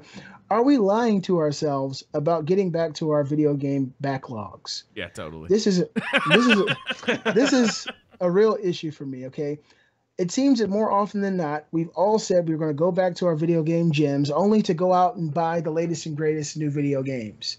I have a ton of games I haven't played. You know, I've so many games I probably put five or ten minutes into, but I'm constantly being buried under an avalanche of new content. Uh, just recently, within the last couple of days, I bought new PlayStation VR games. I bought a new adventure game. I bought Sonic Mania. Um, I got Uncharted, the new one, and haven't played it at all. I bought some new games. I got um, Gears of War 4 for my Xbox One because I hadn't played that. But there's literally 50 to 70 games I still haven't played. And why I constantly say it to you guys, the viewers, to my friends and co hosts, I'm going to get back to this game. It seems impossible to ever do it because there's new things like Destiny 2 coming. Yeah. I know once that game comes out, Uncharted, I haven't even played it yet. I know that's going to fall further and further into the backlog. I'm really enjoying Sonic Mania. It's the best Sonic I've probably played since Sonic CD. It's Is that incredible. on the Switch? Can I buy that on the It's Switch? on yeah, it's on the Switch for twenty bucks, and it's on PS4 and Xbox One for the same price. Uh, and the Switch is 1080p. PS4 Pro is a 4K rendition of the game, Brian. And I got it on PS4 because, of course, my wife game shares with me. But it is 4K version of a 8-bit game. It looks incredible, game? Brian. Okay. It looks incredible. Uh, it was actually crafted by I don't know the guy's name, but he was the one who was doing all the mods to the old Sonic games on on PC and making his own versions of Sonic games. And they noticed the guy's talent, and, and they uh, commissioned him to actually make Sonic Mania. Cool. And this actually has lots of the original Sonic stages with, you know, additions to the level. You can now go down and see what's really on the ground level. All the music has been redone and revamped. It is an amazing game. I've been playing the hell out of that, and it's one of those things where if you got five or ten minutes, you just jump in and go. And I want to. I want to hear a Beastly Gamer review of a game where he's like, "This game is shit. This game is fucking terrible." Because every time I hear him talking about Watch- game, he's like, watch- "It's watch- fucking amazing." Watch my Qu- Quantum Break Quantum review. Break. Okay. check that one out because that really let me down. But the question is, how can a person seriously move? And you guys let us know in the comments too, here on Twitch and on YouTube. How can a gamer with a ton of games that he's never played, he or she's never played, who wants to keep up with the Joneses, who wants to have the newest games, who's excited about what's coming down the pipeline from developers? I'll How tell you how, Beastly. You gotta ditch your family, ditch your job. You know, like you gotta prioritize. If you want to play every fucking new release that comes out, there's not enough time in the day. Why are you buying all this shit, Beastly? That's my question. Like, why are you buying all these games that you know you don't have time to play? I don't, I don't, I don't fucking know. it's real it's it's crazy. And and you know the the voice of reason she'll walk into the studio and she's like why'd you just buy those three games? I was like because they're awesome. And i want i've heard some great things about it. And she says you know you're not going to play it. And i'm like damn it she's right. And all you can do is look away and kind of smile at you know your your wall or your poster of yourself Yeah. and hope hope that she walks out of the room. But i really want to get back to some of these games. I really want to have the time for it but i feel like if i You don't, man. You got a family, you got a job. You don't have time. You don't have the time anymore. I mean, honestly, Brian, I could. I could have time, but it's really, in my opinion, one or the other. Either I forego future games that are being dropped and released, the ones I'm excited about after Destiny 2, because I'm buying that. But, or I forego the thought of my backlog and let those games die somewhere. And, and only well, I mean, eventually you gotta you gotta decide what game you're gonna play, right? Like, you know, I'll tell you what I do. I, I mean, I've learned my lesson because I was in the same boat you were in two years ago. I mean, famously, I, I bought. Far Cry Four, and it was sitting in the Saran wrap for for like two years. You know, like. So like Yeah, I- eventually I said, okay, I'm gonna stop buying games until I actually have time to play it. It's not when it comes out that I'm gonna buy it. I'm gonna buy it when I have time to play it. And uh, I gotta say, Steam is awesome for this because I could just go Yeah. onto Steam and oh, okay, I, I never did get around to playing NieR Automata. I'd really like to play that. Or I, you know, I I never got to play uh, the this the DLC for Wolfenstein. I'd love to play that. Uh, that's really nice because I, I can actually like just download the game when I have time to play it, and boom, Bob's your uncle. You're playing that game 15 minutes later. But the, you know, I'm not I'm not I'm not 21 anymore. I don't have like unlimited fucking free time that I could spend gaming. You know, You're right, bro. That was I going to mean, be my point. Was that you know when I was a lot younger, I was at GameStop during their prime when they were doing a midnight release for every single game. Yeah. I remember there was like a two-year period where every game had like a midnight release, and I was knocking them out. I was achievement hunting, getting all the achievements. And you just get older and you don't have the time. And you know, some of us have become parents. I think I'm the only one that's not a parent here, actually. But and I still the don't dream have alive, the fucking time. Wilson. I still I still don't have time. So I don't know how lucky you guys, bastard. You know, but like as far as like lying to myself about my backlog of games on console, no. Briar, you had mentioned that like, you know, Steam is really good for helping you get through your backlog. I actually have the exact opposite experience of Steam is an enabler for me with this Steam because sales they are put bad. you nailed it, dude. Steam sales. I'll be like, why would I not buy fucking Grand Theft Auto for fifteen dollars? Yeah. You know what I mean? Like that's an amazing game. Oh wait, I can not buy them all for 25. Oh, I, I'd Yeah, love yeah. to play through me- the series. That's only fucking four months of actual gameplay. Yeah. Brian, I, I, I agree with Wilson there, Brian, because you know I'm not even a PC gamer. Yeah. But when that Steam, the last Steam sale that went on, I bought six or seven games. I bought all the old Witchers, and I was like, oh shit, Yeah. this is all in PC. Yeah, you're not gonna play that shit. Yeah, I just bought it because it was a great deal on some great games. Yeah, know? you know, you're like, wait a minute, that game's normally forty bucks, and they, wa- you only want ten for it. Shit. Shing, pull the Uh, trigger, baby. And like, it, I have like over hundred games in my Steam library. Five are installed. you don't play, literally. I do. I, I, play those uninstall five. games when I beat them. Like I, I played Yeah. I played the Wolfenstein games. I uninstalled them. I didn't keep them. You guys keep True. games on your hard drive? Yeah, so I'm kind of like along the, the same boat as uh, as you, Willie. For me, I've got 307 games on my Steam library installed, um, ready to go. Installed. Yeah, ready to go. Where do you Um, put I've that got- thing? Gary's got one of those like fucking like 1960s hard drives in the back. What are the That's his hard ideas? drive behind him. It's not. It's not a soundproof Yeah. wall. Yeah, this- That's this his hard it, drive. This is the hard drive. No, I just I like to. For me, it's a question of choice. So my time's limited too, but I love to have availability. It's why I've got like I've got like 120 Vita games sitting there ready to go that I could play at any time. I've got I don't have much PlayStation anymore. I'll, I'll attest, but probably got about 400 PC games, all installed across Origin, UPlay, um, GOG, Steam, etc. But you never know. You might be like 4 p.m. on a Saturday, and you suddenly think, you know, I, I'll I'll pick. I'm just going to pick something out of here. Um, I'll I'll pick Bioshock 2 remastered, and I, I really want to play that. It's ready to go. Like I could click it, start it, play it. So for me, it's not about will I ever get around to my backlog. It's like it's there on on command if I need it at any point. I don't feel like I need to play them to get accomplishment. I feel like purchasing them and owning them for me is the value. You know, I, I like to have things. I like, I'm a collector. You know, it's not playing it. I, I've completed it and it's I lost value. understand that. I understand that. I feel that, Gary. Uh, part of me is proud when I look. I think I have three uh, about 350 games on my PlayStation, and when I look in there and I see that there's 70 or 80 that I really haven't played, I do still feel that sense of accomplishment because I it's part of my library. But a part of me also is wanting to have played them and beat them. Games like The Witcher 3, Briar, he was very late to that game. Oh, I probably my put 15, 15 to 20 hours into it when it first came out. And then I moved over to something else. And my wife, she sat next to me and beat it on her PS4. And she was about to leave me. She said, You fucking loser. Why did you stop playing this game? And I was like, I was I was doing something some other shit. And then maybe a year later, Briar got into it. Part of me feels sick because I know it's an incredible experience. Both loves of my life have told me to play it. Briar and my wife. And in that order too. But you know, I look I look at some of these games and part of me just wants to just get back in there and play. I, I just bought Thumper on PSVR. It's Mhm. also just a regular PS4 game. Incredible, man. It's so awesome. It is incredible. And I'm like, I want to play this. I want to beat it, but I still got Sonic Mania here, and she's playing Uncharted 4 now. What do I do? Oh, watch YouTube. Fucked everything up.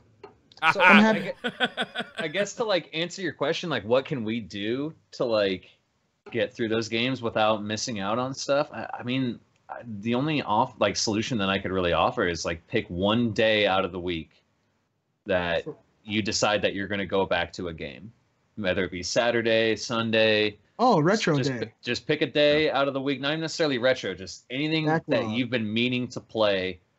Pick that day to play it.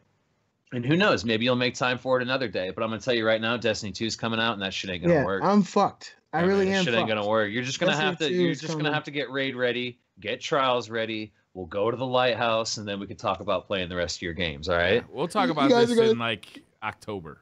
You guys gonna take me to the lighthouse? Yeah, we're going because I played I played Crucible with you. You're no carry. Yeah, Yeah. fucking That's right. part of that team, man. Yeah. We're going. We're We're going. We're So- going to so I- Lighthouse. I, I, I got three or four days to, to try to play as much as I can. When Destiny 2 comes, I'm I'm done. I'm gonna be playing nothing but Destiny. Oh You my know, god.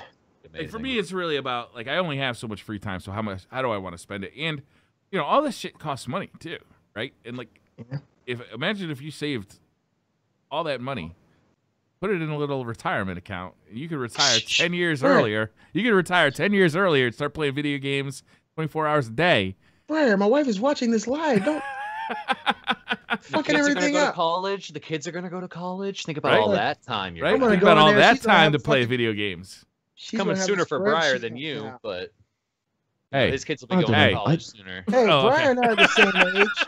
Listen, now I want to go into the living room after after the show's over. She's gonna have a spreadsheet out. It's gonna be games that you you were going to buy now.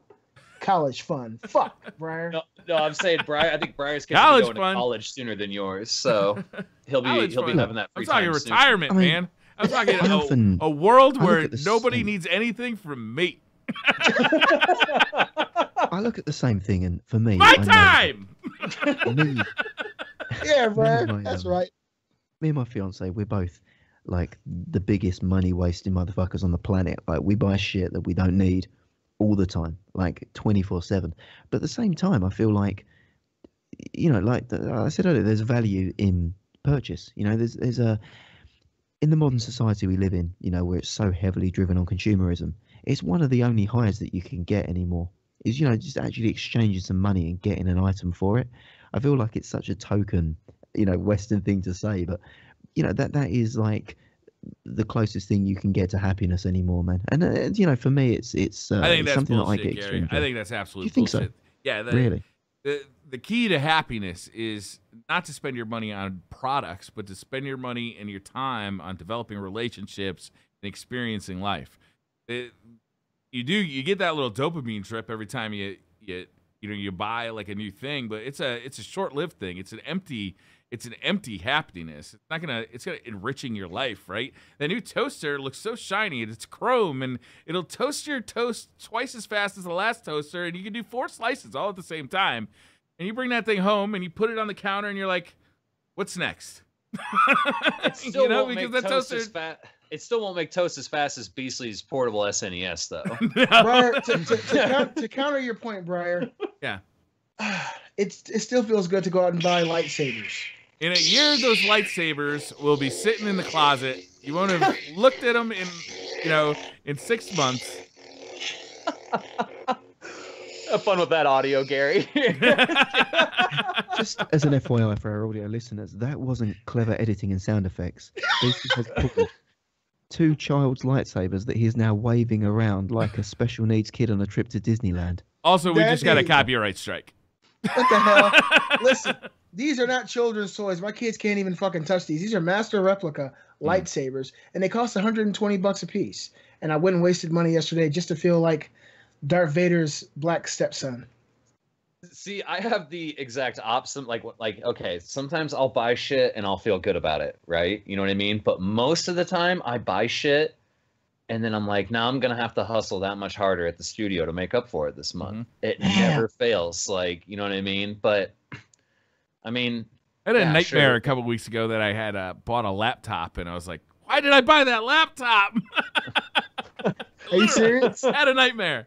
were you, wait, were you upset that you spent the money or that you bought an actual laptop, and not A little bit of both. A little bit of Little both. bit It of was an impulse purchase. Why did I buy that laptop? A laptop's a nightmare of mine, to be honest. Oh my god.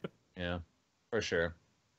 I'll be living the PC dream pretty soon, guys. I promise. But I'll always be a console gamer true to my heart. There's some of us out here like Wilson and myself who love the console experience. I think PCs are cool and great, but I'll always be a console gamer in my big black heart.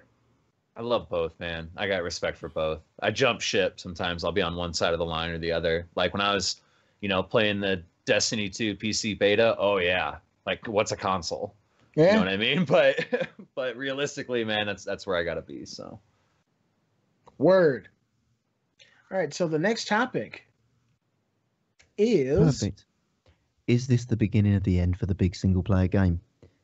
I know I've called it right here on the uh, the September fourth, 2017. Revolver Live called it. This is the end of single player games. We're not going to see any more released. It's just games as a service from here on in. They just Um, canceled God of War 15. damn. Not happening. Not happening. No more. No more Uncharted. No more anything else. The Last of Us Two, gone. Um, yeah, it, I guess the point is that games as a service are much higher return on investment for the studios. Single player games are very much a one and done, and it's very difficult to monetize them. To get the, the, the bigger the budget, the more copies you have to sell, and there's a finite limit because you know you're only going to get sixty dollars. Unless it's got a season pass with it with a load of DLC tied to it, but even then it's only hundred dollars. And some of these games are getting more and more and more expensive. They're going to have four year development cycles, things like Last of Us 2. God knows what that's going to cost. I don't know what God of War cost.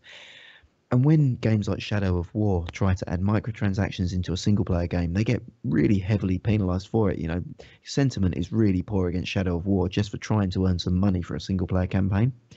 So, do we think that big name franchises, things like Assassin's Creed and Uncharted, um, can probably ride the wave with their, their brand affiliation? People are going to buy Assassin's Creed no matter what. Um, but games like Mass Effect Andromeda, pretty much lampoon the franchise. You know, that, that game now needs a reboot. The Mass Effect was one of the most prestigious series on the console or on, on the you know in gaming for a single player adventure, and Andromeda single handedly destroyed it. So, do you think that we're going to see games like Destiny hop on the MMO light bandwagon and realize that we can keep people engaged for years on end from one single investment cycle and keep charging them with microtransactions and DLCs for two, three years from one major franchise?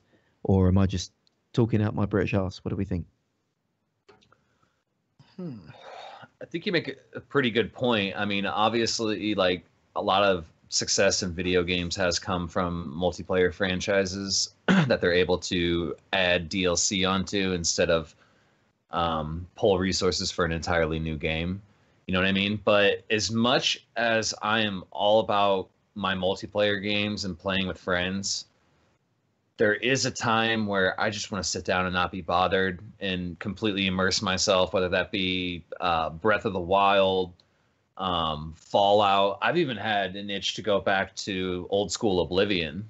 You know Damn. what I mean? Like, yeah, because that's a really good game, and sure that's is. that's probably one of my favorites of the Elder Scrolls, to be honest. But there's, like you said, like there's definitely going to be some established franchises like um, Bethesda. You know, they're going to be kicking out you know, very successful single player games. Um, Rockstar, you know, with uh, Red Dead coming up, even though I'm sure there'll be some sort of an online mode where you can run around and shoot at other people and stuff like that. But you know, I'm seeing in chat, you know, like how they milk Skyrim, you know, like how many times has that game been re-put out for, you know, every platform with an HD remake remake and stuff like that. But I don't I yeah, yeah, VR. I see it 50-50. Like I feel like there'll always be a need for both. But sure, I think it's an easier sell in my opinion with multiplayer. I feel like with single player, you're tar- potentially targeting more of a broad audience whereas with multiplayer, like if your friends are playing it, you're more apt to play it. Sort of yeah. thing, like peer pressure. I, I think Wilson made some great points there, and I gotta agree with you for the most part, Wilson. Um, my opinion is this: there will always be you know these single player experiences that are incredible. Uh, but something I think we'll see more and more of are single player games that have a multiplayer component. If anything, I think that's what will happen. If you look at some of the great single player games of recent years, they do have an, a multiplayer component. Tomb Raider, The Last of Us, Uncharted. These games are seminal single player experiences that are better than most you know of the Uncharted contemporaries. Tomb Raider had a pretty good one too. Yeah. Oh, fuck you, Briar. Really? the Last of Us had the best one, okay? The best. You were looking so fucking real with that too. I see what he did there.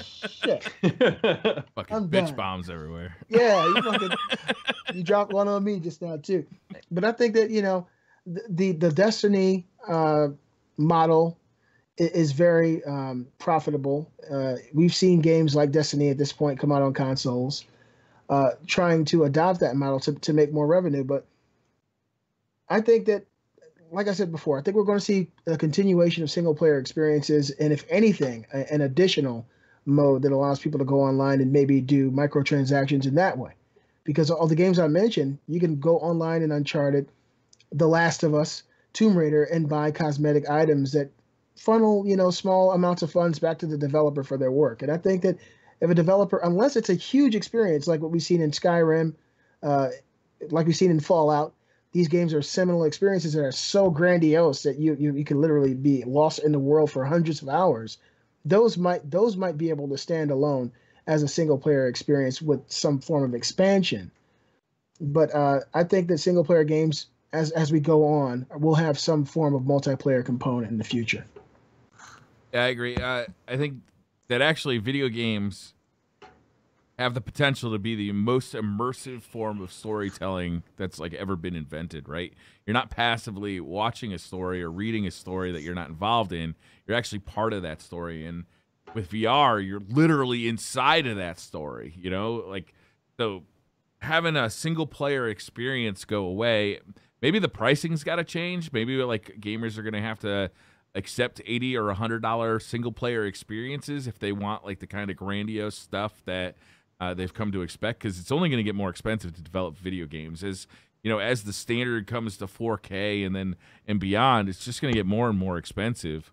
Um, maybe you know maybe we're going to have to start accepting that games are no longer $60 they're $80 or $100 in fact video games are actually cheaper than they've ever been. You know games have been $60 for like 20 years now.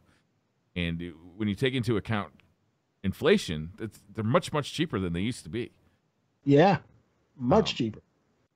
I mean, uh, actually, like for me, it's like I, I hope they, you know, I can never see them getting rid of single player experiences because I eat them up like candy. Bioshock, uh, Bioshock Infinite, uh, Hellblade. I recently played. Like oh, so good. some of these games are like absolutely some of the best experience I've ever had in gaming, and it's, that's stuff you can't can't always have your buddy giggling next to you because it ruins the experience. You gotta be you gotta be able to immerse yourself.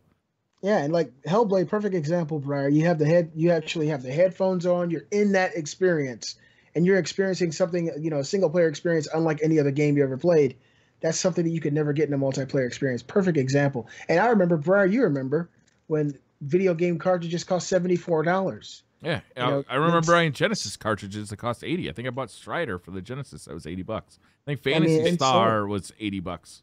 Maybe it was Big hundred box bucks. uh, Earthbound was like 100 120 dollars back in the 90s. I can't believe my mom bought me that. I was lucky. She as she hell, she loved you back then, Wilson. yeah. She loved you back then. A little less now after buying me that. You see what less, happened when you came. uh, you see- you see what happened? Yeah. You see, you see what happened when you came over. They got the hell out of there, man. Yeah, they did. They went halfway across the country. Stock They're that like, fridge with lunch, Lunchables. You got the fuck out. Yeah. give him give him some Lunchables and a Bic lighter, and he'll be fine. You know, like. They know him so well. Tell oh, him that's the pig snort or the the cat snorts, snorts like a pig, so he doesn't get freaked out later. I've had to, I don't know if you guys have noticed. I've had to mute my mic and yell back at the cat because I can hear it snoring over you guys. It's in the other room. For shit's sakes. What are they feeding this cat? So- So, so Gary, this this is your topic. What are your final thoughts on this? Do what do you think is going to happen? I think we're going to continue seeing single player campaigns, single player um, stories. I think chat made some really interesting points that I hadn't thought about um, throughout our conversation, specifically around you know what what do we think were some of the biggest games and most anticipated games of the year? They weren't necessarily service games. You things like Zelda and Horizon Zero Dawn. Yep. Moving forward, you know Wolfenstein: The New Colossus. All of these are exclusively single player games with no multiplayer component whatsoever included in them and they were the headline games that people are really looking forward to to seeing and playing um, so maybe the games as a service may be more monetizable on the long tail but the spike games that are going to generate you big bucks in the first month or the first weekend um, seem to be the single player story driven campaign games. So that's um, def- definitely some good points were raised there. It's really interesting. Games as a service is a relatively new concept and g- games like destiny are new to the marketplace and people are learning from this and i, I do think that you're going to see a lot more games uh, similar to destiny where they really are meant to kind of have you stick around and have you mainline that game but i think it's going to be like a mmo situation where you have wow and then you have like a bunch of other ones right it's like you, Yeah. you can't have too many of these things in your life. So a lot of people are going to pick one, and they might flirt with one or two along the way, but they're going to come back to their main a lot. Whether that's Destiny or not, I don't know. You know, it could That, be that, that, kind of Anthem comes out. It could be that Anthem comes out, and that's that perfects the game as a service model. And it, it you know, in ten years, we're Oh. talking about how Anthem fixed Oh. it. Do you know what? Since playing Destiny 2 PC, my hype for Anthem has like tailed off hard, man. I've gone back and watched that trailer so many times and doesn't look as impressive anymore. I got to say, once you've seen D2 PC running in all its glory, um, yeah, I Anthem know, looks ma- like, oh god Did you guys see the? looks Did you guys see the live action trailer for Destiny 2? We didn't even talk about that. That About a hundred times. trailer. Dude, I literally changed my pants like four times watching that. it's so I saw good. that that even Mrs. Rabbit was like, "I am so pumped for Briar and his friends. This gave me goosebumps. She- like the, she the saw it- production value." saw it because I tweeted it out and she just follows me on Twitter. She watched it and she had to come into the office and be like, "Oh my god, that trailer was amazing." She That's doesn't real love. video games. She That doesn't- is, that's real love, man. It doesn't get any better than that. You I'm so know, I saw a lot. I saw a lot of com- people. Like the only complaint that I saw that was voiced largely was that people are tired of them using like popular music from the 70s, 80s, and 90s. You know, Zeppelin and Beastie Boys. I say 70s. and Somebody complained about sabotage. about sabotage and said that it was lazy picking a classic. These and it's like, do not have an opinion that is worth listening to. Yeah. They, Yes, they have self selected themselves as part of the population that you don't need to listen to anymore. It's uh, they've actually done you a favor, Wilson. You now know you can identify these people and not waste your fucking time on them anymore. It's really they've done you a favor. Straight I- I- I haven't seen this live action trailer yet. Uh, I'm going to check Oh, it out after the God's show. sake. Yeah, you need to check it out, man. Because I late. tell you right now, if you watch that and that doesn't give get you the the slightest bit of getting pumped for D two, then You you're got you guys doing said it had it had Freebird in the background. What, what was the background music? No, it was uh, it was sabotage, Beastie Okay. Boys. Okay, gotcha. and it, it's so good the production value like i hate to say it but people said that it kind of reminded them of like a, a star trek trailer it kind of did like there was the classic jj abrams lens flare you know there was the the beastie boys sabotage but like damn did they paint a good picture of not only what the world is going to be like what we're jumping into but what it's going to be like for new players jumping in because that was the whole thing. This wasn't the same people that you saw in the previous live action trailers. These were new people being introduced to the world. And holy shit, am I pumped! Favorite part, no joke, where the Psions are in the hallway with their laser guns and it's all dark, and then everyone pops their super, and the Psion looks out from his scope like, oh shit. And My like, favorite part Really? is the Yeah, hunter the running down the hallway shooting the gun over her yeah, head. yeah, yeah, and that right after they all pop their super, and the Psion looks out of his scope and is like, "Oh shit!" The Titan's just standing there going, you know, he's got his super pop, you know, like letting him know that it's about. To, it's it's really It- good, man. It nails I'm the so glad they did comedy, the humor. It nails like the lightheartedness of the Destiny universe, but it also really gets the power fantasy of like you know all these guardians doing all this badass shit. It really it, it kills it. It's so much I better than that- that stupid multiplayer trailer they put out a month ago. Yeah, That was I, I want the gear. I want I want that stuff that they're wearing because these are real people in Warlock, Titan, Mhm. Hunter Ah. gear. You know what I mean? I man, it's a cosplayer. You got that in an extra large? Yeah. How does that run? How does the the hunter helmet run? You know, like I got kind of a big dome, you know. yeah, I got a lot of brain activity going on up here. Like Four times XL if you're from Orlando as well. Just, just get that in there. Four X.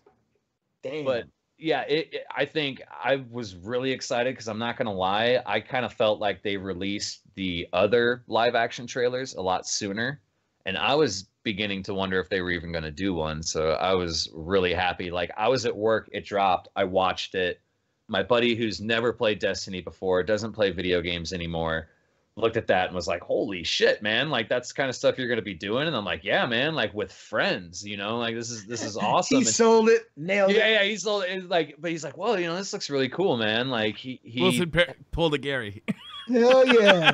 His True. friend said, "Up, up, gotta gotta pick it that's up." true. And then I got back to work, would put my piece, you know, get done with a step or two, put my piece back in the kiln, and I'd sit down and I'd watch it again. I think before I got home, I'd probably watch that thing like 20 times at work. Do you know what? I feel like Destiny it. would make watching these sorts of things not like so much a movie because I know you mentioned that um, in the DCP, Briar, but I feel like Destiny would work really well on either. Do you remember the Starship Troopers series that they did? That was like uh, live uh, live action, was it? No, it was. It wasn't live action.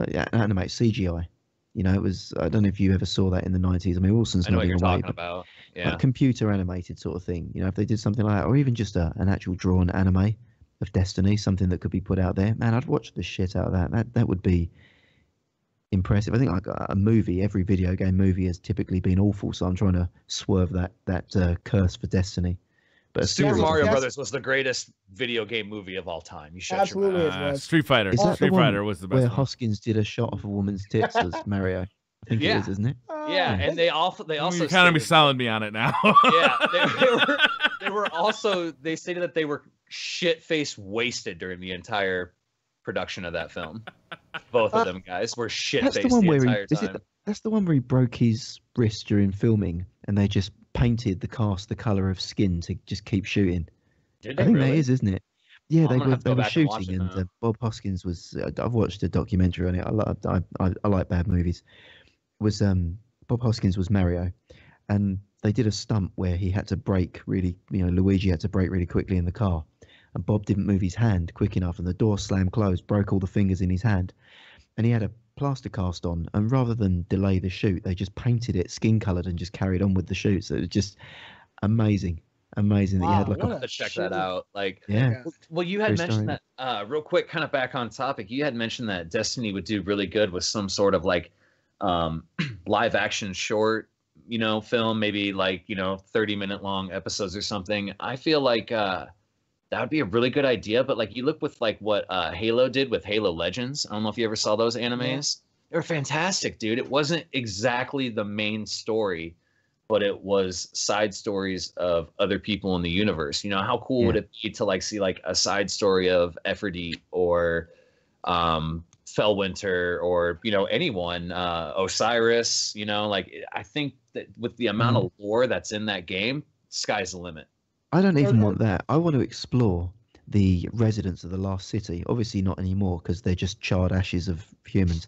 But like before they were all dead, I just want like a, a a series set in the last city, like a political intrigue, almost like a Game of Thrones. You know, because there must be politicians that run that city. We're just like watchmen, you know, up in the tower. We're not down there seeing what goes on. I'd love to explore that and then their perception of what the Guardians do because they don't see you on a day to day. You know, uh, for all they hear, they hear like you know kid stories of you going off and killing alien races far away. You know, there's an inanimate object in the sky that they don't get any power from because they're not light imbued. They're just humans living in a walled city. I don't know. I'd love to see that. Well, that would be really more speaking to- of like the consensus and like that's where like New Monarchy, Future War Cult, Dead Orbit, and even the Vanguard is part of the consensus. Like they're calling the shots. They everybody else has to take things to the Vanguard. The Vanguard takes it to the speaker, and the speaker decides whether or not they're going to go through with it. So I mean, to be honest, it's kind of a dictatorship to be real, because the speaker could just be like, "Nah, bruh, we ain't doing that." Emphasis you know, on like the dick. mm, Dick. Man, that's it. Bring not like the a- a- tater, just the a dick. tax on Did- thongs or something for the city. You know, just really be a dick about it. You know? Have you guys ever seen an anime called The Animatrix, which was, which was a film that had nine short films uh, based around the Matrix lore? Yep. And it was all anime, did, different yeah. different styles. I think something like that would work really well with Destiny, with just varying stories from different perspectives, told by different uh, directors, and that would be amazing as well. But I, I really agree with you, uh, Gary, on the whole idea of the Lost City and kind of the way it was functioning uh, before everybody got the shit wiped out of them. That would be awesome to see as well. Awesome. Yeah. There's a lot of lore you could touch on. I mean, like Cayde Six used to be human. You know, he used to work for Clovis Bray, and apparently he broke a bunch of shit. So to pay him back, he let them turn him into an exo. You know, like Wow, to see that just would be that story would be amazing. Like seeing like a drunk Cade fumbling around, breaking like trillion dollar equipment, and just being like, ah, fuck it. You know, like You can tell that we're excited awesome. to play Destiny because I think this is like the fourth time it's been brought up during this podcast. We can't get away from it. We I can't. We we've can't stay away from it this week. I think we've just decided what the next Revolver skit's going to be. Who who's who's going to be drunk Cayde and, and where are we filming this? I think it should be Beastly. Definitely. Yep. time to go to the liquor store. His performance as the console hobo in the last one, I mean, it was breathtaking. It was breathtaking. you. If that doesn't get yeah, if that doesn't get nominated this year, for I'll, I'll take my Academy award, Award, now. I, I'd like to thank all uh, the co-host for Revolver Live and everyone who watches uh, us. that looks on- like more on like a booby prize than an award. Let me open it up so you guys. I'd like to thank see. Yobo for making an awesome portable Thank you, Yobo. I couldn't have. I couldn't have. I couldn't have. My toast has never been without you. toastier. You know, the rest of the world's out there trying to like you know fight off the threat of North Korea, and Beastly's buying their imports. Look at that thing. That was like crafted in the wastelands. Oh, shit. This didn't come from Kim Jong Un, you ass. Literally funding terrorism. Yeah, literally. That's like current tech in North Korea, man. That's like state of the art. That's what little kids are playing in Pyongyang. Probably. Yeah. Like, we have the most state of the art advanced video game system, and it's the Yobo SNES portable. Yo, Yobo. they wanted to call it. Uh, um, damn, I'm trying to think. What is it? Um, They wanted to call it YOLO. Hobo, but no, no, They wanted, to, YOLO. they wanted to call it But Hobo, taken. but nobody would allow them to, so they called it Yobo. YOLO. You only live once, but it was already taken. I like that. Are we all done with our topics, or I think we more. are. all right? We have. We've we've blown our load one more Damn. week. Um, we and need to, not we need to, prematurely. It, it lasted for two hours. That's a hell of a night for anybody. I mean, is it impressive to think that this time next week we will be drawing us all away from Destiny 2 to talk? Damn. if, John, that's- This episode will be 20 minutes long. Hey guys, what you been doing? Playing Destiny, playing Destiny, playing yeah, Destiny. play- Destiny. Maybe we'll for- just live stream us playing Destiny. Yeah. Maybe we'll just do it the Maybe Destiny will. 2 Revolver episode. Because if I'm not playing it, damn it, I want to be talking about it. yeah, for real. If I'm not God, talking about it, can't I want to be playing it. One or the Yeah, other. I Will. think- One or the other. I think maybe chat can talk about us, commenters, people in, in chat now, and people that watch the YouTube video. Throw up a comment if you want to see a, a Destiny 2 special next week where we just go all out. We we go balls deep talking about Destiny 2. I think that's uh, that's what we'll all care about. No one will have anything else to talk about. So Nice. All right, I think that's gonna wrap it up. Beastly, what you got going on this week? Anything you want to Well, pimp? I, I got some new tech for my, my studio. I bought myself right. a, telepro- a teleprompter. You just bought and- yourself a bunch of work. Now you have to script every video so that you can that you can justify the purchase of a teleprompter. That's what you just did to yourself. Damn it, Briar. You can't ever be a cup half full kind of fucking guy. Holy shit. Damn it. I was excited until I told you I had it. Exposed. Straight up exposed. you know you can get a program for your computer that just scrolls down the text for free. Yeah, but I didn't want that. I wanted an actual teleprompter, okay? Yeah, but this is a Can we see it? device. Can we see I, it? you know, I, I don't want a PC screen elitist. I, you know, I want the real fucking deal. I got, Get the teleprompter out. Go on. He's got to show us his new toys. He's already I got wanna the see it. lightsabers out. He's got I, this. I hope your wife fucks with you and like changes up a word or two in there for you so that you have Yes. to reduce. I hope that too. yeah. instant So it's on a divorce. tripod. So are you gonna be like standing in front of the green screen doing videos? Yeah, I want to be doing it all, Briar. New, Doing it whatever all. you guys want. Yeah, Whatever we want. A- anything, Briar, for you. We'll talk later. This is like it's, it's just got everything, the ingredients to make a new Anchorman spin off with you. It's, it's fantastic. I like it. Super excited. What are you guys going to be up to for the next couple of days? Destiny 2. I- I Destiny figured. 2. I got a I got a new streaming PC coming from On Air PC that's arriving on Tuesday. I got to set that thing up and get going. Get going cuz that raid comes out 7 short days after the release of Destiny 2 and I plan to be raid ready. Raid ready. And then the Friday following that, we got to we're going to jump in and do some trials, right? Yeah, Right? That'll be fun. We are. We're That'll be going a to lot the of lighthouse straight there. I've never been to the lighthouse before. I'm afraid of uh, of water too, so I got to stay in the lighthouse. Eh, it's easy. It'll be There's fine. trust me, there's no water at the lighthouse. Oh, you're you're pretty close to Mercury, so water content is at a minimum yeah, slow. Low to Yeah. nil.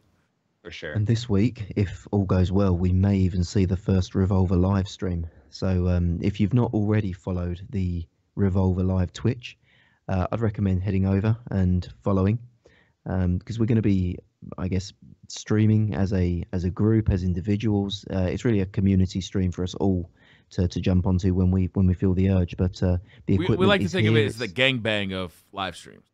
damn right. Yeah. Like, we, we kind of like run train on that Twitch key. We kind of just you know What run if she in, wants run it out. in that? We'll be there. Whoa, whoa, whoa, whoa, whoa. whoa! Keeping it totally consensual. here. Revolver Live and, and the hosts of Revolver Live do not endorse rape in any way. Especially when it Rape, I'm talking about live streaming. What the Let's be hell? fair. Seventy-five percent of the hosts do not endorse in any way assault of any individuals of any kind, sexual or non-sexual. Um, the other twenty-five, you know, the jury is still out. But Absolutely it is. Absolutely. All right, is that gonna do it, guys? This was a good show. It's glad glad to have everybody back. I missed you guys. Yeah. Yeah, that was good. That was a good time for sure. Felt very All right. natural. Cat, thank you guys so much for hanging out with us. We will see you next week, Sunday at 6 p.m. with six fresh new topics. Revolver I out. think that's it. Revolver out. Or just Destiny 2. wait, wait, wait, wait, wait, wait. What- what? Never, What? we, we, we never finished the, the, the Pornhub quiz.